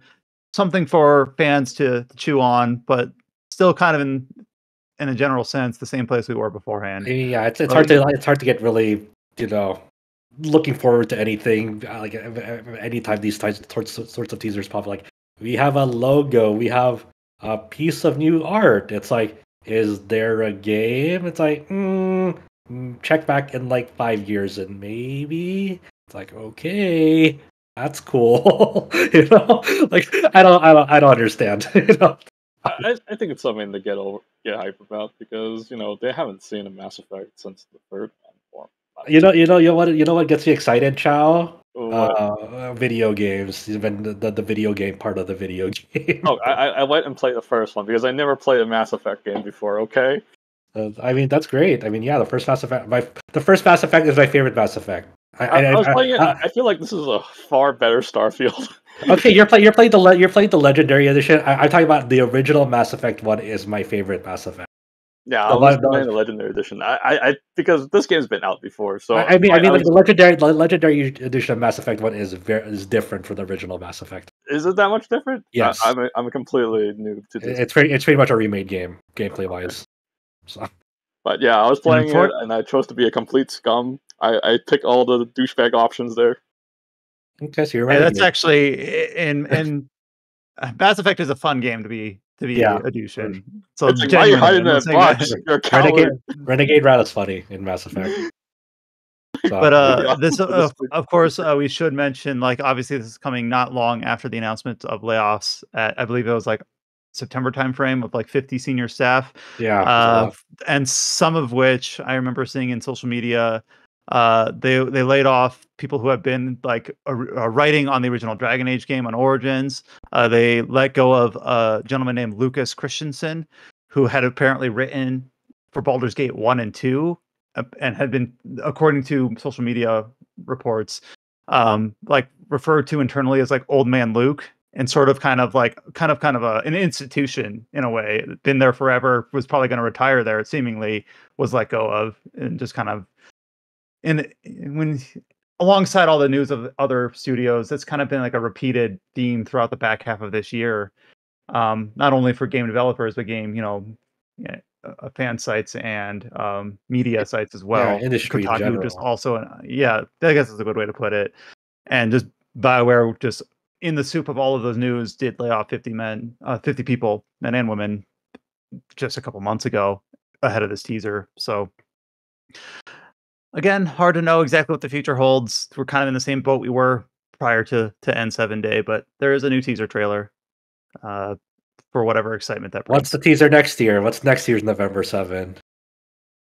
We'll get a named character. Ooh, all right. It might be optimistic, but that's as far as I'm willing to go. that, that, that, I know, Versus that's James that's gonna pretty bold. gone. That's pretty And then of course we we of course hope that all the people who did were let go do land on their feet. Yeah, uh, for everyone in the industry, it's like it's like that's kind of uh, every week is just like it's another round of layoffs somewhere in the industry. Really Mhm. sucks. really sucks. We also do have a few other gameplay trailers for some smaller scope titles. Uh, coming out in December, we do have another Dragon Quest spin-off title, and that is the Dragon Quest Monsters: The Dark Prince. And this is a you featuring a character from Dragon Quest 3, which I have not played. So I Or, can't really uh, speak Dragon to it Quest in 4 terms of like Pro. four. I, I did I did I make this mistake last week or two weeks ago? don't Probably. uh, I probably did. Uh, so we we got a trailer that is basically a gameplay introduction trailer where they have kind of like a Disney Disney esque narrator talking about like what you will see and do in Dragon Quest Monsters: The Dark Prince. Um, and me, who have played some of the more recent Dragon Quest titles, including Treasures, but haven't really clearly not not a huge series fan. I look at this and my initial reaction is that it just seems to occupy a very similar space as like Dragon Quest Treasures in that it ties into an existing mainline series entry in Treasures it's 11 and this one it's 4 in a monster focused like side game where the key gameplay component is building up a team in order to uh, interface with the whatever the goal of the game is and having only played Dragon Quest Treasures a couple months ago, I just kind of feel like a little bit crowded. Like, oh, it's it's a similar scoped game, and I don't know if that's fair, but that's kind of my initial gut when I when I look at, oh yeah, this game's coming out next month. I'll probably and also the fact that it's this is currently just like Treasures was announced as Switch exclusive, likely coming out on other consoles or PC in probably six to seven months time. Not not announced, but that's just where the precedent's been set. We're all So just don't waiting for the next uh, Dragon Quest or like mainline RPG or those HD2D that three HD2D thing. That's not. I guess that's a bit, big way to sum it. up. It's like, well, it's great and all, but when's the next main main Dragon Quest thing? Because that's what people are really, you know, really really want. But I, Adam, I, someone who's played Dragon Quest Four, do you like how excited are you for the Dark Prince? I mean, it looks sort of like I've never played a Dragon Quest Monsters. Um, it looks sort of like Dragon Quest Pokemon. You know, you summon Yeah, different much, monsters, and I mean, Yeah. so I'll probably play it. But if you know me, I'll wait for a PC port. that's where I'm at now too, dude. Like, it's it's gonna come, you know, sometime next year probably. I most mean, it feels like Give for a lot of six this stuff, yeah, six months almost exactly is six or seven months is when is how long it takes. Yeah, And it, it'll be Shadow Drop too, so we won't. Yeah, know. Dragon Quest That's Treasures, right. they just are like it's out now. Like, oh, okay. I thought you better, you better earmark like the six month uh, anniversary from this the, this release date, and then now you know the release date of the PC port. So you won't you won't be shadow dropped again. Dragon Quest Treasures Steam charts. I'm just curious. 560 player peak. All right. Hell yeah. But yeah, um, so Dra- I, I know some people, like even on staff, uh, Colin has been really excited for this game and has been Uh, curious to see when they're going to start marketing. One for of our newer staffers, Junior, is like the biggest Dragon Quest nut we have on staff. So Mhm. We got to get some of these Dragon Quest nuts on podcast to, to balance out our boomer. hey, I've played all the Uh, mainline games. Me too. What the fuck? And I played Have a you liked all the Breaking mainline games? I like most of them. I like. Okay, the only Okay, main. okay. Okay, I, I didn't Okay. play ten. Okay, to be fair, I didn't play ten. I really- play, Junior plays ten. Yeah, he plays ten. he yeah. plays everything. Uh, Dragon I mean, he, he, he's in Japan. He can, he can play ten. All right. who, Um, who is lined up to review this? Just curious. Cullen. Colin. Yeah. All right. Yeah, but I Colin mean, will the- give it a fair shake. I, I, Like w- the I would. We always give it a fair shake. All of our reviews are fair. Are you saying uh, that it's bad faith again? Are, are, are Ryan. you saying are you saying that RPG site, the outlet that's given Dragon Quest Eleven three 10 out of tens, is not going to give a Dragon Quest game a fair shake? All right. Fucked up. Touche. But yeah, if you if you've heard about Dragon Quest Monsters announced, but you're not quite sure how it plays, the new gameplay overview basically goes into it in pretty pretty clear detail about exactly what you'll be doing in that There's a demo. And it's coming on out early in December. Did- Oh did- yeah, and the December and the demo has like it carries over like some bestiary type stuff. It carries over Wasn't the there monsters that already- you recruit. Wasn't there Right. already a demo? Yeah, Yeah, that's what, That's what they're about. referring Yeah. to is that existing demo. Yes. Hmm. and th- this trailer just reminds you play the demo now. You know it's still available. So eShop only, of course, for the time being. Yeah, we keep talking about the the supposed PC version that doesn't exist Yeah, yet. it's, it's yeah. The PC version is not announced. We are just making an educated guess.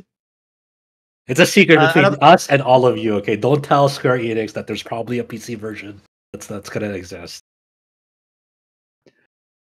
And then the other game that uh, has a new gameplay trailer. I remember Adam wasn't even sure he would cover this. It's the first time, or I guess it's technically the second time we've covered this game. It is a racing RPG called Resistor that has like a cell shaded, uh, like 2000s era anime art style. And I watched the gameplay trailer for this, but in the trailer itself shows like it does some character interactions. It shows a lot of gameplay of like the um kind of like arcade racer esque components to it. The the trailer itself doesn't give away anything that suggests RPG ish. Yeah, so this game called Resistor, um, right front and center of their like announcement press releases and even in the trailers, they're like they're calling it a car RPG or a car PG. Ah, haha, I get it. Um, and like we covered the announcement, and then when they show the gameplay trailer, just it's I'm not sure what part of the RPG they're like really trying to like emphasize. Like there's like characters and story, so it's like a narrative driven racing game. But I don't know about like progression or mechanics or like customization or anything like that. Um, but I we just keep posted- getting lied to. Okay, like uh, it's like it's like little goody two shoes when they fr- when the initial announcement they said RPG and that announcement really. and the, and then See, the second is- yeah the second See, this is where we're at as a genre site, guys. Like, we can only we only cover RPGs, but sometimes we just have to trust publishers. They have the same definition we do. And then, yeah, they keep saying RPG. It's like, okay, well, they said it's RPG, so I guess we cover it. And then the very next day, it's like, it's not really RPG. It's like, what the fuck did we do then?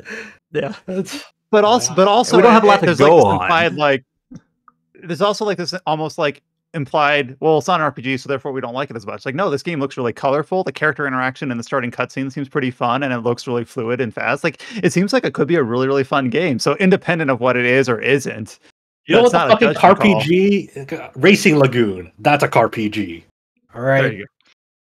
Damn, that's a Oh yeah, classic Square Enix title that nobody's heard of.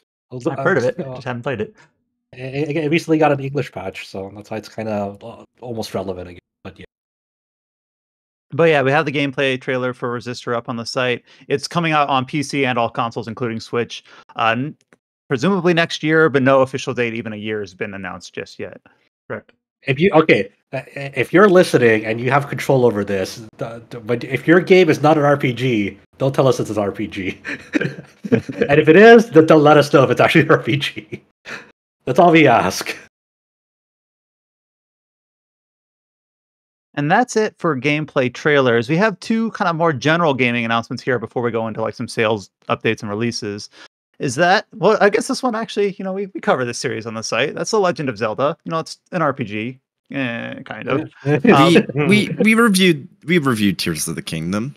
So Yeah, We we, we cover these games. I remember our discussion like, do we cover Breath of the Wild? And then I was like, Alex is very like, it's it's the closest, it's the most RPG Zelda has been, so we're covering Breath of the Wild. I'm Alright. trying. not- not I'm gonna trying to cover it. remember. I'm trying to remember. Yeah, no, I did. I actually reviewed uh, Hyrule Warriors Definitive Edition for us. It was like one of my first reviews, I think. Yeah. so there you go. It, it's uh, we we break our own rules here. If you're gonna criticize us for being inconsistent, we know. we know. we get it. We get it. But, But anyways, uh, go the for it. long rumored, yeah, the long rumored. I don't know. Different people want or don't want this. The announcement of a Legend of Zelda live action film. So going to be produced by Avi Arad. I'm not a film buff, so these names are kind of new to me. Going to be produced with Avi Arad, who is a producer on a lot of the more recent Spider-Man movies, including uh, at least one of the Spider-Verse movies. I'm not sure if on both of them. Uh, and then the the the new Marvel um, Spider-Man trio of movies he's a producer on, as well as, well as a few other movies. And then the director is going to be Wes Ball, who has kind of a, a much more limited history uh, filmography, but has been director on like the uh, Maze Runner movies. And then the film is going to be co-produced by uh, both Nintendo and Sony. So it's going to be more than 50% 50% financed by Nintendo with Sony Pictures Entertainment doing the theatrical distribution. So this is apparently something some people are really works. tripped up on that part. Like, how can Sony and With the- the Nintendo work together? It's like So Sony Pictures is like its own thing. There's Yeah. different From. Sony Sony's and a, PlayStation, Sony's a fucking big ass company, dude. There's like how many fucking divisions in Sony to handle different parts? Come on. But yeah, I saw some a lot of people. They're like PlayStation and Nintendo working together, and it's like, no, not really. Uh, people, This is a tangent, but I you- did Mhm. a couple days ago watch the uh the Gran Turismo movie. Oh, which how is was like it? not not only is that Sony Pictures, but it's like I, I don't know if it's a subdivision, but it's like PlayStation Pictures. Like it actually has like the PlayStation logo, not just the Sony Oh logo. yeah, yeah, yeah. Okay. Um, and I don't know exactly how those different entities fit within Sony, but fun movie. I enjoy it. Oh, um, okay. Yeah, So it's- it's not- about it too. The trailers made it look corny because like, he's a gamer. What did he know about racing? I, Oh, the it- there's a little bit of that in like the first ten to fifteen minutes, but then it, then it kind of mellows out. So if you can get through that, uh, it- it's a pretty good movie. yeah, but, I, I didn't know uh, anything about it, so it's nice to hear that's actually pretty decent. Mhm. So uh, Miyamoto, obviously a longtime producer for Nintendo, uh, has spoken through the Nintendo Japanese Twitter account. Uh, a few short statements about plans for the movie. Supposedly, this has been something that's been in discussion off and on in some capacity for a long time. I, I don't see the, the the direct primary source for this, but apparently, like for at least ten years. But uh, no other details about like casting or time or if it's going to be an original story or cover an event of, a, of another title or what but in development or at least in planning stages with uh, the producer avi arad the director wes ball nintendo and sony pictures entertainment who would you like to see as link Whoever played seen- in the CDI version, the Excuse Me Princess link. Tom Whoever- Holland, sorry. who Tom Tom Holland. Holland, Spider Man, Oh, the, the, the, the, the Spider Man. Uh, in the that's the one that's going around yeah Yeah. I, I um who, who else? I don't know like who would actually be good for Link, to be honest, i have no idea Like I, I'm just like I was like I don't know who whoever played Legolas uh, and the Lord of the Rings. That's uh, Orlando Bloom. Oh, He's like okay. 50 yeah, there you go. Put Yeah. it's okay. I actually want. I- I- Actually, it'd be really to see if like had they had an older Link for this live action. That'd be awesome. Punish Link. Uh, I don't know. I don't know who who else. It'd be it'd be cool to have like a Zelda Williams cameo somewhere in there. That'd be great. Um, I, I Oh. did see. Uh, I think Alex tweeted that, and I know it's probably several people have tweeted that. That you know, Zelda Williams has been kind of like an unofficial spokesperson for that brand uh, in, in in different capacities. To be really kind of a real neat kind of reward callback. yeah, yeah. Uh, to just have a give her a cameo if possible.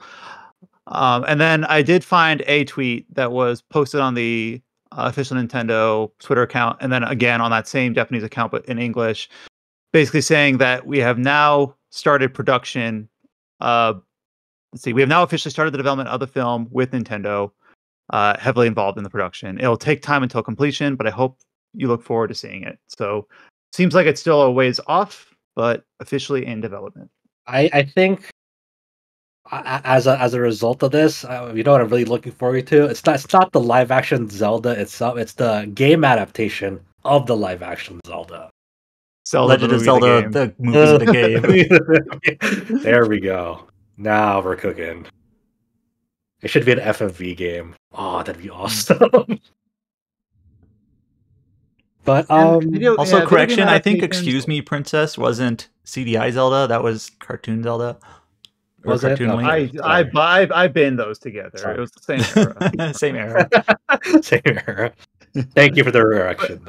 but but but but video game adaptations recently, including not not a video game explicitly, but like the Dungeons and Dragons adaptation, uh, then Gran Turismo, uh, Mario movie, of course, is the big point of reference there. Uh, the Sonic Um, films I've also were big as well. Sonic, yeah, Sonic movies. It- it basically, you know, we're not in the dirge. As that we far were, as like, live action ago. goes, it's not. It's anime, but like I haven't seen it. But apparently, One Piece Netflix is like decent. oh yeah. yeah. So it's sort of I a like, lot of praise hey, now I know that's not that's an anime being live action, not a game going live action, but it's like, hey, live action stuff sometimes works out okay. so Yeah, the, idea- I, I I heard that like the like the really the big key factor for that project like was Oda, you know, the author of One heavily Piece, like being right.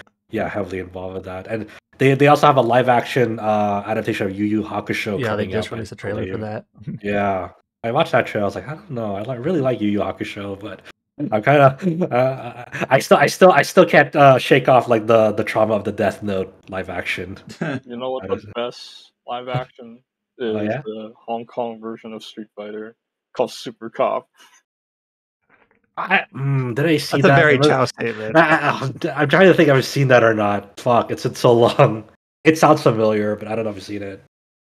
Shit. But hey, Oh, wait, best of luck. Oh, wait, I got the title wrong. Future Cops. That's what they call it. Uh, best of luck. They, they're also doing an adaptation of uh, Avatar: The Last Airbender. They Oh, released yeah, a trailer. for another- Hopefully, better than the movie.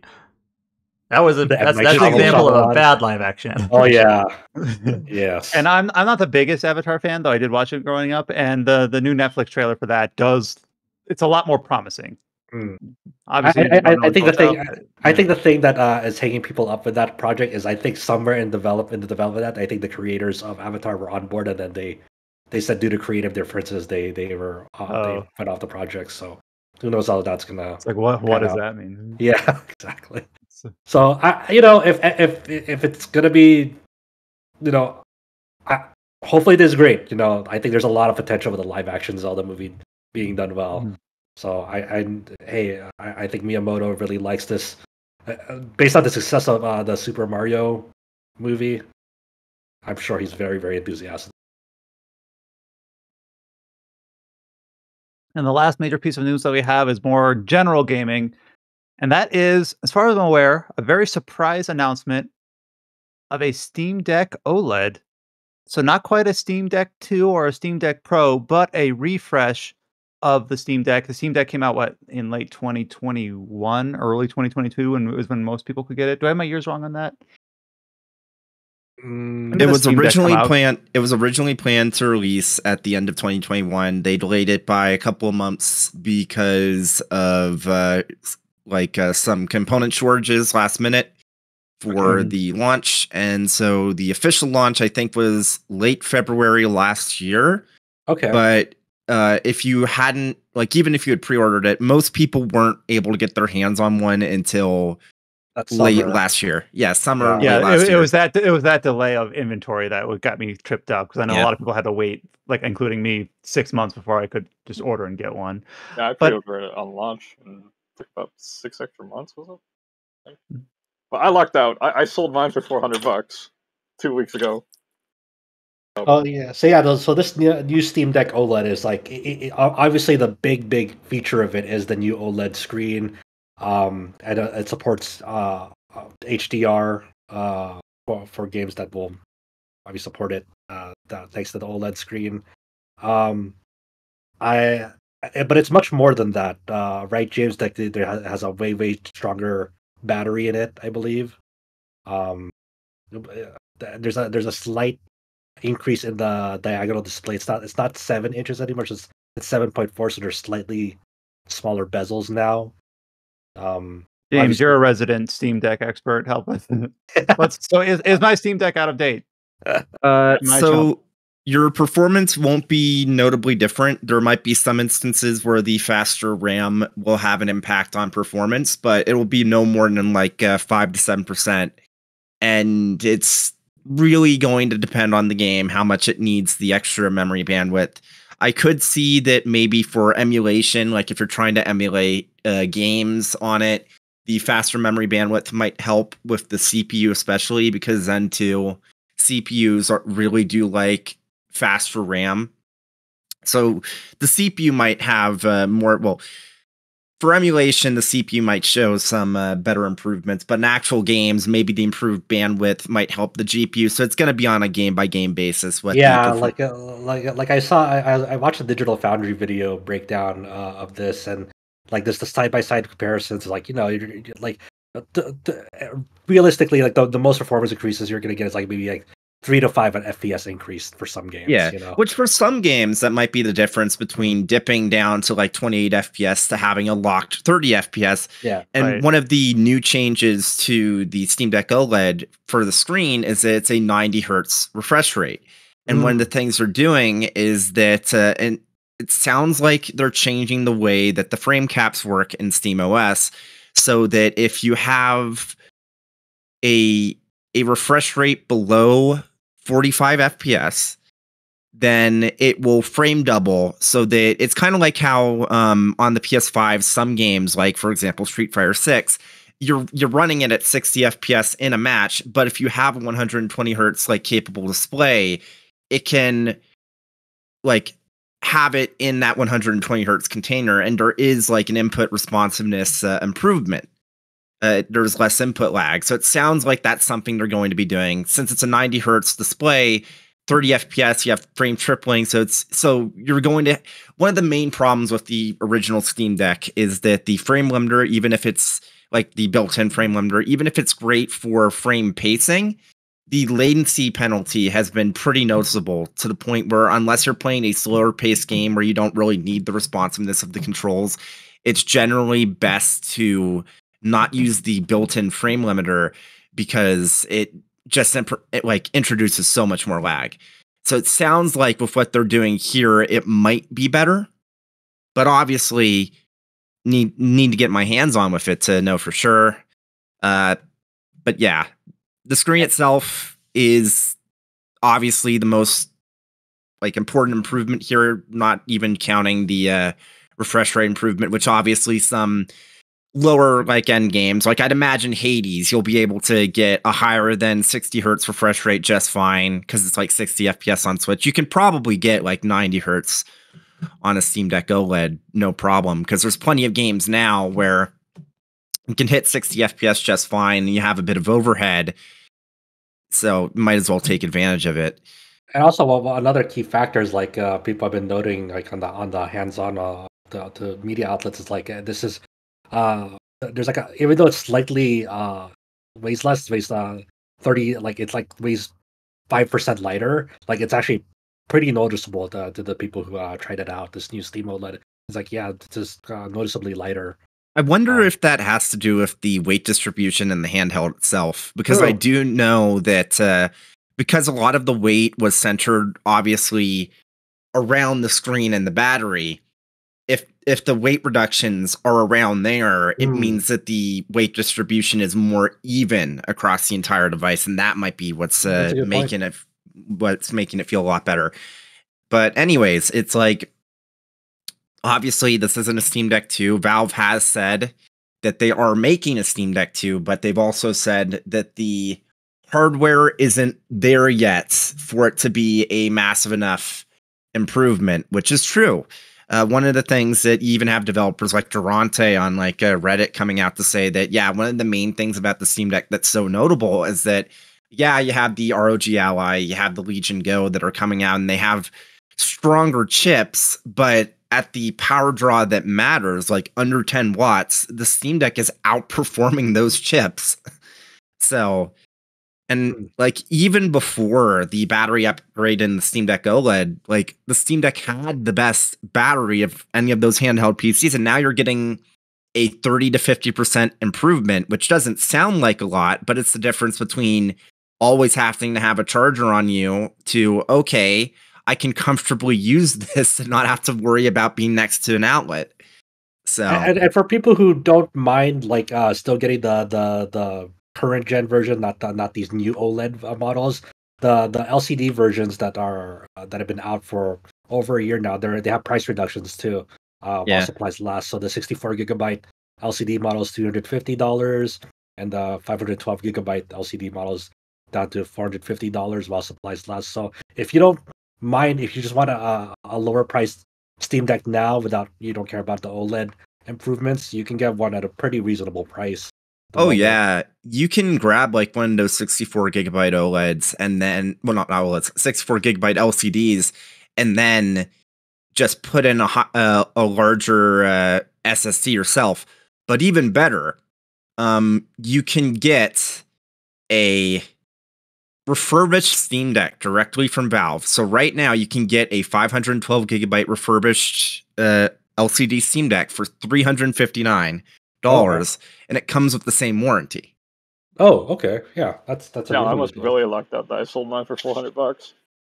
But yeah, it's like, I mean, the Steam Deck was already like far and away the best value like handheld gaming PC, and like, it's very clear that like Valve's in it for the long run. They've they've confirmed they're gonna make another one. They've done they're doing this huge hardware revision. Like Gamers Nexus just put out a, uh teardown video for the OLED model like today, and basically every component in it has been changed in some fundamental way Wow. to make it a better like built machine like down to the fact that like on the original model they said okay the way that the um the charger ic works uh with how close it is to the battery it, it it was like fine but it was worrying temperatures. So one of the things they've done is instead of having one ic they have two of them now in parallel.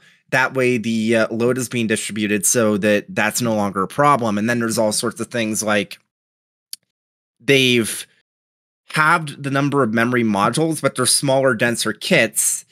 And because they have they're smaller and denser they've like if you look at the like actual like motherboard it seems like it's uh like empty in a lot of places but it's actually because they've dedicated so much more of the uh, traces to the signal integrity because you have the denser modules that are also faster so they're making sure that it's it's very smart stuff all across the board and i'm very excited to get my hands on with one I, I think I'm gonna wait for uh, a Steam Deck 2 uh, to to replace mine. Uh, but I'm really really excited to see, like, if th- this is the improvements they're doing, like kind of like a, a, model refresh. Like, how big of a leap will be the Steam Deck? Uh, what they're playing for the Steam Deck 2, essentially. my the number one thing I want from a Steam Deck 2? What's up? And it's, it's, it's a very silly thing. I'm teeing this up in a dumb way. The the official case for the Steam Deck currently doesn't have a slot for the charger, which it's a USB It charger does. with a power brick at the end. It, not It does. mine, and I got the. It's sure? it's it's that slip thing on the back Oh, it's That like the little little pivot. hollow, the hollowed Yeah. out ver- uh, thing at the back.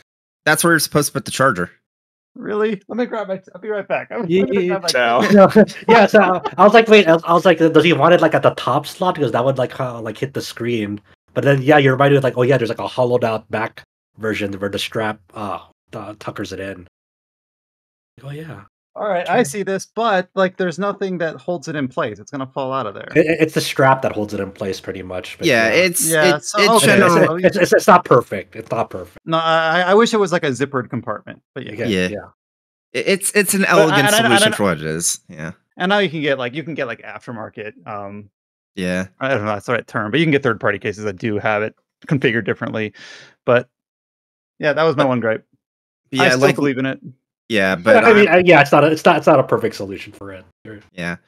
Yeah, I'm I'm going to pick up one of these. Uh it helps that I'm in in a in a region where I can easily sell my old uh Steam Deck to someone local so I don't have to worry about shipping and whatnot. And it's like, okay, well, I use it enough that it it makes sense to get the better screen, especially since like it, like I've been getting into HDR recently because I got a new monitor that has proper HDR and seeing like the specs for the screen on this, it's like, oh man, this is gonna be incredible. You're gonna be surrounded by HDRs by the end of the year. You're gonna have like your your Steam Deck OLED on one one end, and then surrounded by your HDR screens.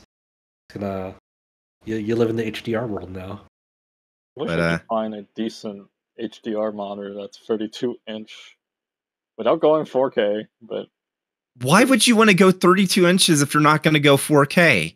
fuck 4K. It's just a waste of power, man. Wh- Why would you go 32 inches for 1440p?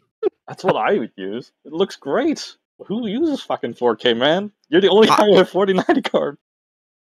Uh, both Adam and Brian have 4090s. Damn you guys. Child's like, fuck everyone who's using 4K. I don't fucking get it. Fuck everyone. I love that. The, the, the child's the old man yells at the cloud mo- moments. This is this is this is my only real hobby, so that's why I spend too much on it. But Well, But yeah, no, and um, but one thing that I never said at the start is that the the Steam Deck OLED is coming out um November Next week. 16. Yeah, so, I'm just so throwing the next corner. week. yeah, Who knows? announcement Yeah, out who, of nowhere. yeah, who- yeah, who knows what it's going to be in terms of like availability? I assume high, but also I assume that Steam has kind of ironed out kinks, having gone through the rigmarole once before with the with with the product stream. I still think it's a miracle that I was able to I was able to get my Steam Deck uh, uh, pre-order the first one when it came up. Like it took it took like maybe ten minutes. I was like, oh my god, I somehow got I secured one. Because I, I remember that roller coaster. That was a trip. And with that, we'll go into one sales update and then a handful of upcoming release dates or at least release windows for the back half of this year and early next. Uh, a decent number of headlines here, so we'll roll through them. The major sales update that we have is that Persona 5 Strikers, if you remember that, it's the Omega Force sequel slash spin off hybrid for Persona 5, has sold over 2 million units. Yeah. Which, for a lot of other series, they'd kill to sell 2 million units, and then the spin-off does for uh, Persona 5. Uh, it was I- a, pr- a pretty damn good game. Like I, I remember enjoying it. Uh, I was playing it. Would you wish to do an version with whale content? Um, not really. I mean, Yeah, I wouldn't want to replay the game just because Kasumi's there now or whatever, you know. Yeah, that that'd be. Imagine if they did it the same way, where you can only access the, the new content by beating it first, and you and you can't save over progress if you already beat the original version. Um, that'd be And weird. it- Zenkichi is good. Yeah. Oh yeah, he's good. I I like the yo-yo chick too. She's funny. Sophia. Yeah. Yeah. Yeah. Good game. So, So, one thing that's sort of annoying about Sega's um the way they reveal like sales numbers, it's actually pretty rare for them to have like something like this where they say this game sold 2 million. They they oftentimes group it by like franchise or sometimes even in Persona's case like sub-franchise. Like the Persona 5 series has sold 9 million. But that includes Strikers, that includes uh, the original Persona 5, that includes Royal, and the way Sega categorizes it, they call Royals re-release like separate from Royal, like the basically anything that's not the P- PlayStation version. Um, But I believe Persona 5 Royal, last we knew, is around 3.5 million roughly, and that's not including original Persona 5. So it gets kind of tricky. But yeah, 2 million for the spin-off. It's pretty good. That's Yeah, really it's, good. a, actually. it- it- it's, it's a, yeah, it's a total genre shift too, and you knew if, like if people if fans were gonna get on board or not, and seems to have really paid off in a big way. going into the back part of 2023. Uh, one of the things we'll announce first, because it's not a single release date, but upcoming support for a release game for the next several months, that is Lords of the Fallen. Before I go on, has anyone here played it? I know a lot of people were interested. I don't know who's actually booted up and played it yet. James Uh, played yeah. a little, Uh, I think. I've I've been doing other things like reviewing. It's like been a busy. It's it's it's been a busy couple months, and I know I know we've had a few people interested in this. Just trying to clear time. I know is Yeah. really hard, but no, I So. Lords of the Fallen, we recently got the announcement of it selling over a million copies alongside its contemporary Lies of P. Uh, and then developer CI Games has released basically a roadmap for upcoming free content. So this is free content, not announcement of like a DLC triple pack or what you what, what you might expect for uh, like a season pass, which is genuinely good. Like they are saying they they're going to support this game with balance updates, tweaks, little added quests here or there, new gear sets. Um, things are like quality of life, like gamepad remapping, like being all the remap buttons, uh, how New Game Plus works. Like all of these things genuinely are like really cool that they're they weren't they didn't they didn't meet the uh, release scope of the game, which was received pretty well, and they're they're still going to improve what on what they have. Okay, I, my, my only concern, uh, because the, the way this content is currently in development thing is, is I don't know if it's sequential or not, or like when these updates are coming. So, like for example, the first two things they have on there is the Halloween event and the mob density reduction, and both those have launched already. Then they list a whole bunch of other stuff out there, like Umbral Armor Set, Questline Inventory Expansion number one, uh, one after it, um, New Spells Pack number one, um, and so forth. And then like the, the, almost to the end, the third till the end is gamepad rebinding. And I don't know if that means that we have to wait for all this other stuff to push Jersey for a basic function, which is Yeah. gamepad rebinding. Yeah, but uh, the, what I was gonna get to is like the other shoe, and this is a small shoe. Like I do want to say, uh, it's very it's very cool that they're doing all this. Just the graphic that they've chosen to use is hard to parse. It's a lot of block art in a fashion that looks like a timeline, but it's not clear. And then on top of that, they have like ongoing weekly enhancements where they have things like stability, performance, QOL, QOL tweaks. Like okay that's you know it's cool to show that the the level of commitment is kind of nice but i think like the graphic could have been cleaned up. And it's, i know i sound like nah, uh, how dare your graphics sound uh, be so like hard to I, I, parse. guess- I guess I, I, I, I wish there was like a more firm like release date time frame or release window for, for it. Hey, remember the Cyberpunk 2077 roadmap? Yeah, There was like, like a nine month. opposite There was like a nine month window, and that was just like continual updates. They go, and they didn't meet like any of it. so I was like, okay.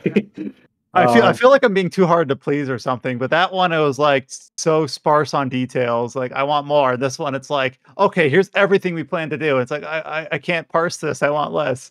So I was like I feel I feel like I'm being hard to please, but uh it's just it's hard to know. Like like Josh said, if you're really interested in the gamepad remapping, when is that coming? At least based on the graphic itself, the roadmap, it's not clear potentially if you go to like the newsletter or a, a social media account it might be detailed in another fashion somewhere else but it's, it's not clear based on just the roadmap that they that they put out there uh, but it looks like lords of the fallen if you really have if you've either not played the game yet or you're continuing to play it uh, through new game plus and things like that it's looks like it's done really well for ci games uh, and they're going to continue to support it pretty heftily throughout the rest of 2023. This does clearly say 2023, so uh, ostensibly within the next couple months.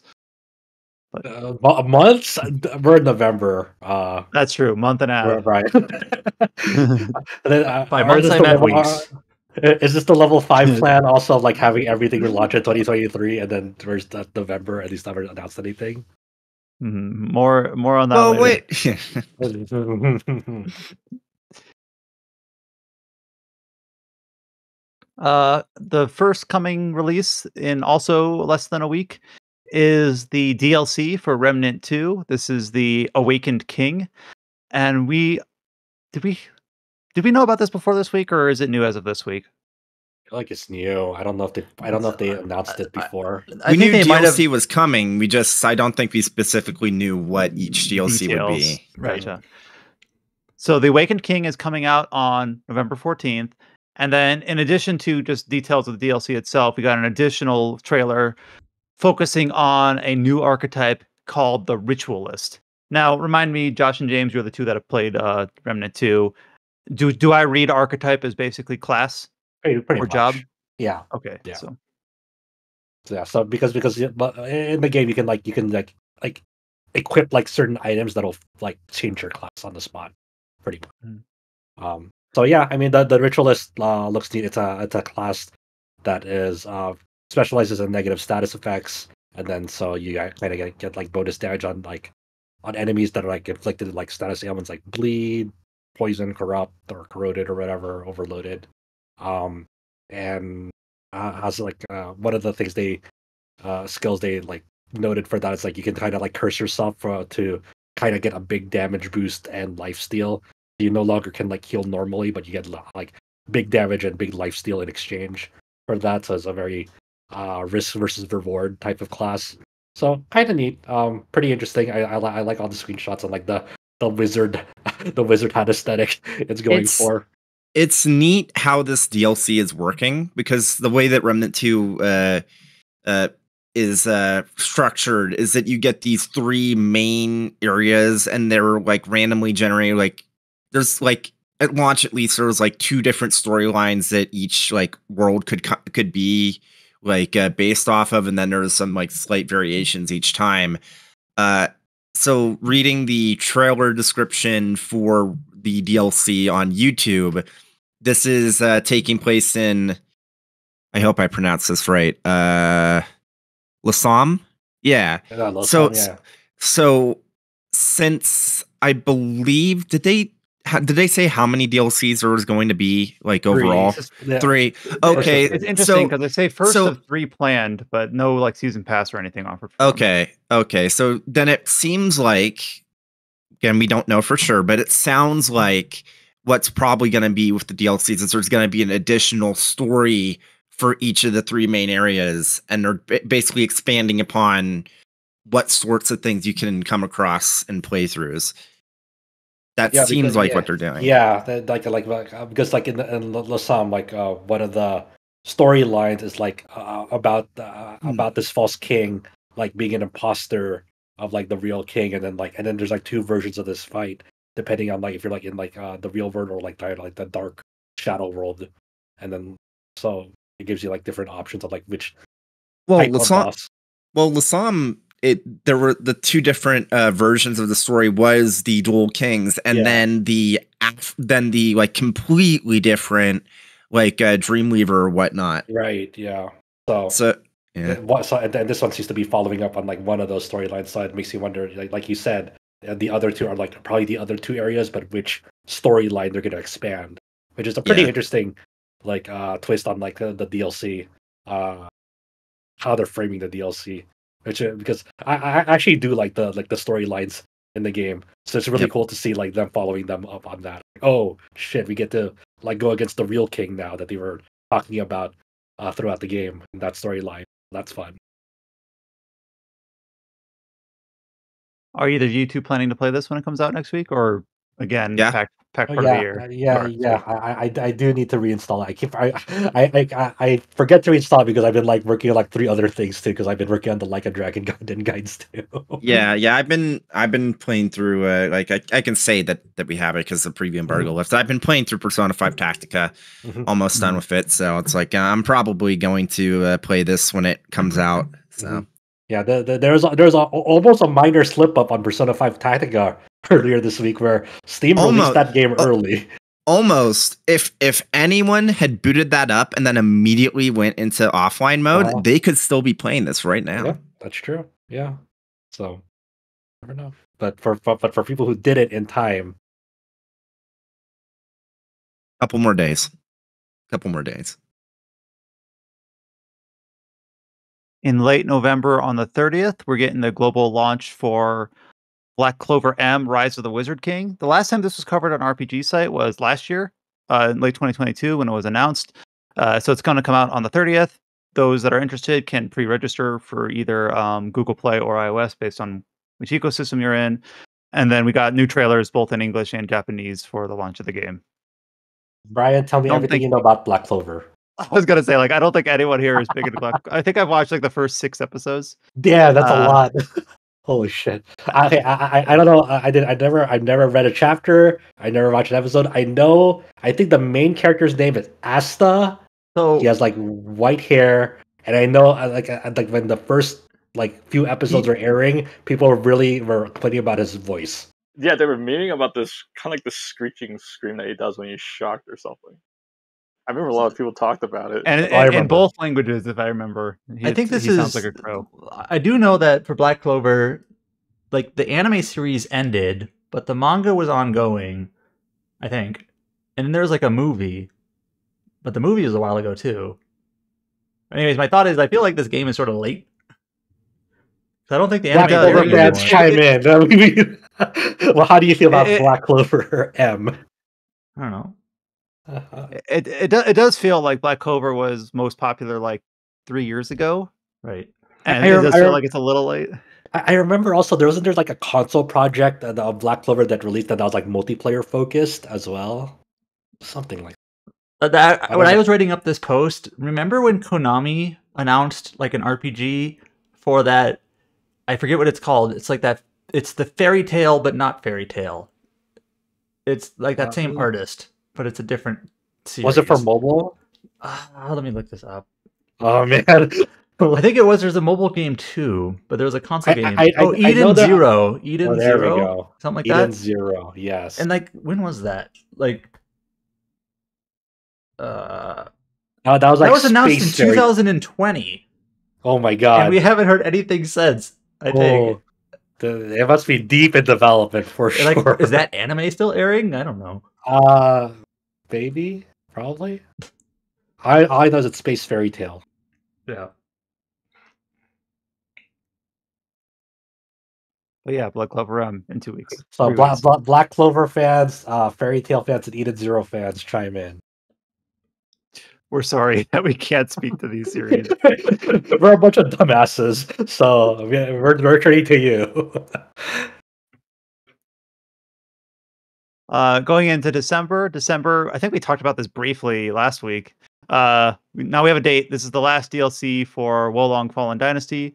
Upheaval in Zhangjian releases on December 12th. Chow, correct me if I'm pronouncing that wrong, uh, which is almost certainly true. Uh, the Nioh 2 crossover is also live. I haven't played it yet. But yes, that'll come out in a month or so. The last update for Wolong. Now the the upheaval in um sorry, Chow, J- Jingzhang, uh, is that like new story content? They they are no. sorry they the two other dlcs are new story content but they're like they're like standalone like they don't interface with the main story Oh, really in any meaningful way It's just but also if you've played Nioh 2 or wolong this i don't want to say the story doesn't matter but it's it's not the focus I I- yeah. The way the way that Kite writes this DLC is this DLC gives uh, is loosely based on a historical moment where Liu Bei went to seek refuge with his fellow kinsman Liu Bao, Biao. So okay. I Alright. I apologize if I'm pronouncing these names improperly. I wish they pronounced I'm- it Cantonese style, but nobody knows what they sound like in Cantonese because they never offer that kind of writing. How do you pronounce this name that is looks like cow cow, but it's not cow cow? How do you say that? you usually hear it as chow chow Chow No, it's um, In, in Cantonese, it's a Toto. It- It's yeah, really? it's like it- it's like, I, right? I, I know like the pro- pro- proper Dutch pronunciation is like T S A O. It's like South South. So, so. Okay. Yeah, but I'm just saying, like in Cantonese, that's what you sound like. So it's like It, it, It's very ba- difficult. back, back in the good old English dub days, like in Dynasty Warriors two and three, they did pronounce it as cow cow. and It was Yes. really funny, but but not but not correct. But, but that It's old like- dub it's was like, uh, hilarious. What was that? Don't don't chase after Lubu, or is it the other one where the guys cast? Do not pursue Lubu. Uh, yeah, yeah. My favorite one is the one where they're doing like magic when you're fighting the yellow turbans or something. Yeah, the Zhang Jiao, uh, the Switch casting, uh, witness the power of my magic. And then that was excellent, excellent. Uh, I, I I recreated one to one as well. Also in December, we're getting the DLC for Darkest Dungeon 2 called Darkest Dungeon The Binding Blade. I thought that was the Fire Emblem title at first. I was That's Dark "Binding Deity. Duh. No, Oh. Binding Blade. Like, wait, what? So I always forget. Like, according to Fire Emblem Heroes, what is the subtitle for Fire Emblem Six? The Binding Blade. Oh, is it? Yeah, Is it that's, actually? that's the official title now. Oh, okay. Because thought- I, know sometimes I still go back to Sword of Seals. Is kind yeah, of what I, I, I like the translated Sword of was. Shield. It sounds a lot cooler, but what Yeah. can you do? So, no, So this is not Fire Emblem, the Binding Blade. This is Darkest Dungeon Two, the Binding Blade. I thought Well, Josh it's was confused with that Dark Deity game, which is like the Fire Emblem like, which was some other dark game that he got confused with. I got forget. it's the Binding Blade that I got confused by, but uh, it, it turned out to be the Binding Blade. Yeah. Well, this is better than what happened to the Blazing Blade, which just became just known as Fire Emblem No, no, it- No, it was always known as Fire Emblem, and then over time they kind of sort of added Blazing Blade No, back no, to no, in it. Japan it was always called the Blazing Blade. You know, yeah, I know, no, but but in, Rekka Rekka no Ken or whatever. Yeah, in in the West, I feel like that game they've slowly have added a subtitle back to it as Blazing Right. Blade when it never had one initially. Because No, now Now we're there's there's like saying- alliteration. Binding what we're Blade, saying, this is this is not uh, Fire uh, Emblem is more interesting. there- there's not there's not a Fire Emblem Darkest Dungeon 2 collab. That's not what it is. Anyways, And- I feel like Darkest Dungeon 1 made a splash, and then Darkest Dungeon 2, I I might be completely off base. I just haven't like heard much of it.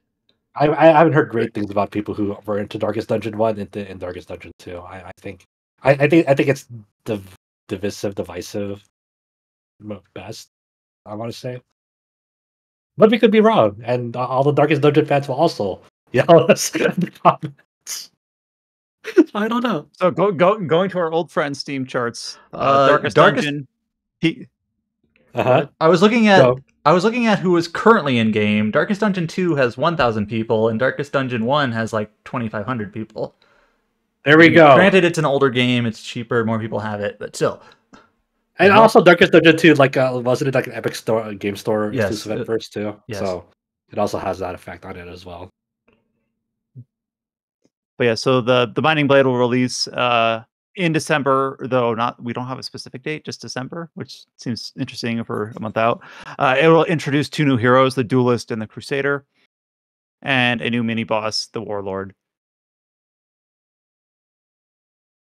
I think that's it for December. Going into 2024, now that we're finally starting to flesh this out a little bit more, uh, the first two announcements are a couple of games that are delayed. So, Broken Roads. This is a indie Fallout like that was set in uh, Australia, post-apocalyptic Australia, is being delayed to 2024. This is a last minute delay, a very Yeah, last minute it- delay. It was originally supposed to release um, next week. I guess I'll just say that we we have someone Paige was covering it, and she was running into a lot of polish issues. Yeah, And quite literally, seems what like the story is here is that they sent out review code for this game, Broken Roads, and then reviewers who were playing the game under embargo, ours included, were basically like, "Man, this is really buggy," and running into all sorts of issues, and uh, you know, that feedback got back to the developers, and they were like, "Yeah, we can't release this," so they delayed it. Yeah, it, So good on that- them. From the from the things we saw and behind the scenes, it uh, it, it is uh, uh, they really needed this delay. They really needed this.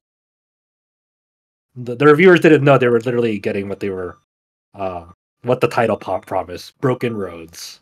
Mhm. Holy shit, they weren't kidding. but but good on them and uh hopefully it does get the time that it needs to be polished up into what they actually envision the game should be no release window other than 2024 the citing polish and the need for more qa as the for the reason for the delay I think they say early, but Yeah, but, but uh, hey, at the very least, you know what? The reviewers of this game, they're like, "Oh man, that's awesome. We get a lot more time to, to get through this and maybe do guide stuff as well." Mm. And then another game that is being delayed to 2024 uh, we talked about level 5 and their deluge releases for 2023 which is slowly coming to a close. Uh, fantasy life i the girl who steals time has been officially delayed to 2024 in addition to that level 5 has announced level 5 vision which is their like their direct show. Level 5 vision 2023 2 is set for November 29th. For more details on upcoming titles, including Inazuma 11 Victory Road, Deca Police, the aforementioned Fantasy Life, The Girl Who Steals Time, Megaton Musashi Wired, and the new Professor Layton and the new World of Steam. So, what do we think? How many of these are still releasing in 2023? um, None of them. It's- None I- of these I games are going to release. I don't. I don't. I, I'm trying to think. Like you can't. I don't think you can really like release them in this I, window I anymore. feel right? like if they were to announce the getting- game like to, like on Monday, like this is coming out December 22nd, they could. because you need like- you need to prep retailers as well. yeah, like I, I feel like yeah, but you could maybe announce something five weeks out, but like it'd be landing like right on Christmas. It's like mm, maybe not. Yeah, so I, that, it's kind of it's kind of crazy. Like their first level five vision 2023 was like back in March, and like they announced like all this stuff, and then their, the sequel to their to their uh, 2023 vision is delaying all of that to next year. Uh, Yeah, But the hey, name of the uh, event. When I, looks saw- when I saw this, You know, I'll play Yeah. Decapolice whenever it releases. oh, I, well, and, and James was able to see that. Uh, was it Yep. Tokyo Game Show? Yep. So and said it looked really really neat. Um, but yeah, level five vision 2023 two, where the two is Roman numerals, you know, volume as in like volume two. Where they have volume one they announced all the games, volume two they're all delayed. yeah, Maybe cool one will come out in December. I'll I'll, I'll, I'll, I'll say that. Maybe one will come out. In I, like, I, late I think I think the if there was one that to come out that is the most likely to come out is like Megaton Musashi. I think. Um, Mhm. Other than that, I don't think anything else has a, has a shot. Because Megaton Musashi is pretty much a re-release of like content that already came out. Mhm. slash global release. Right. Yeah. But other than that, I don't see any of these titles coming this year. into 2024 we have a few console port announcements so neptunia sisters versus sisters will land on nintendo switch in january on the 23rd This is a weird press release. How so? Okay, so this is a two-part press release where they announced the release date for the Nintendo Switch version, uh, which is whatever, and then the second part was they released a trailer for it, but it was the Xbox version of the game, and they didn't announce a release date for the Xbox version. It was to show the the swimsuit DLC is also coming to the Xbox version, and that they they, they so now there's like a, a, a feature disparity in between these the, the Switch and Xbox versions of this game, where in the Switch version of this game, you have two new playable characters coming to the Switch version only, and the swimsuit DLC is also coming to the Switch version, but only in the digital deluxe edition of the Switch version, while the Xbox version does not have those two playable characters, but the swimsuit DLC is going to be available in all versions of the Xbox version. And that, but the Yeah. Xbox version does not have a release date. so i'm looking at our news post as you say this so i was able to follow that but good luck if you were listening and trying to follow that uh i love i love feature creep or whatever you want to call it in between versions of yeah, yeah, feature just bring out bring out the spreadsheet. I had, had to literally fucking just like okay, just to, uh, like as a recap of this. This is what's the, the Nintendo Switch version. This is what's in the Xbox version because they even had like a little table at the press release. I'm like, this is so stupid. like, god damn it. So the Xbox version is not dated, but we know what's going to come on it. And then the Switch version, we just this week got the date, January 23rd, but uh, some of the features are hidden behind the deluxe This- version. The swimsuit DLC is d- oh, digital deluxe edition. In all versions of the Switch will have the playable, the, the new playable character. Gotcha. Hmm. And Xbox will not have the playable characters, but will have swimsuit DLC and will launch sometime next year. Yes. All right. Also in February, we're getting the console release on PlayStation 5 and Xbox Series for King Arthur Knight's Tale. This is like the dark fantasy uh, CRPG that originally released on PC last year uh, in mid 2022. So it'll be releasing on consoles um, in February next year.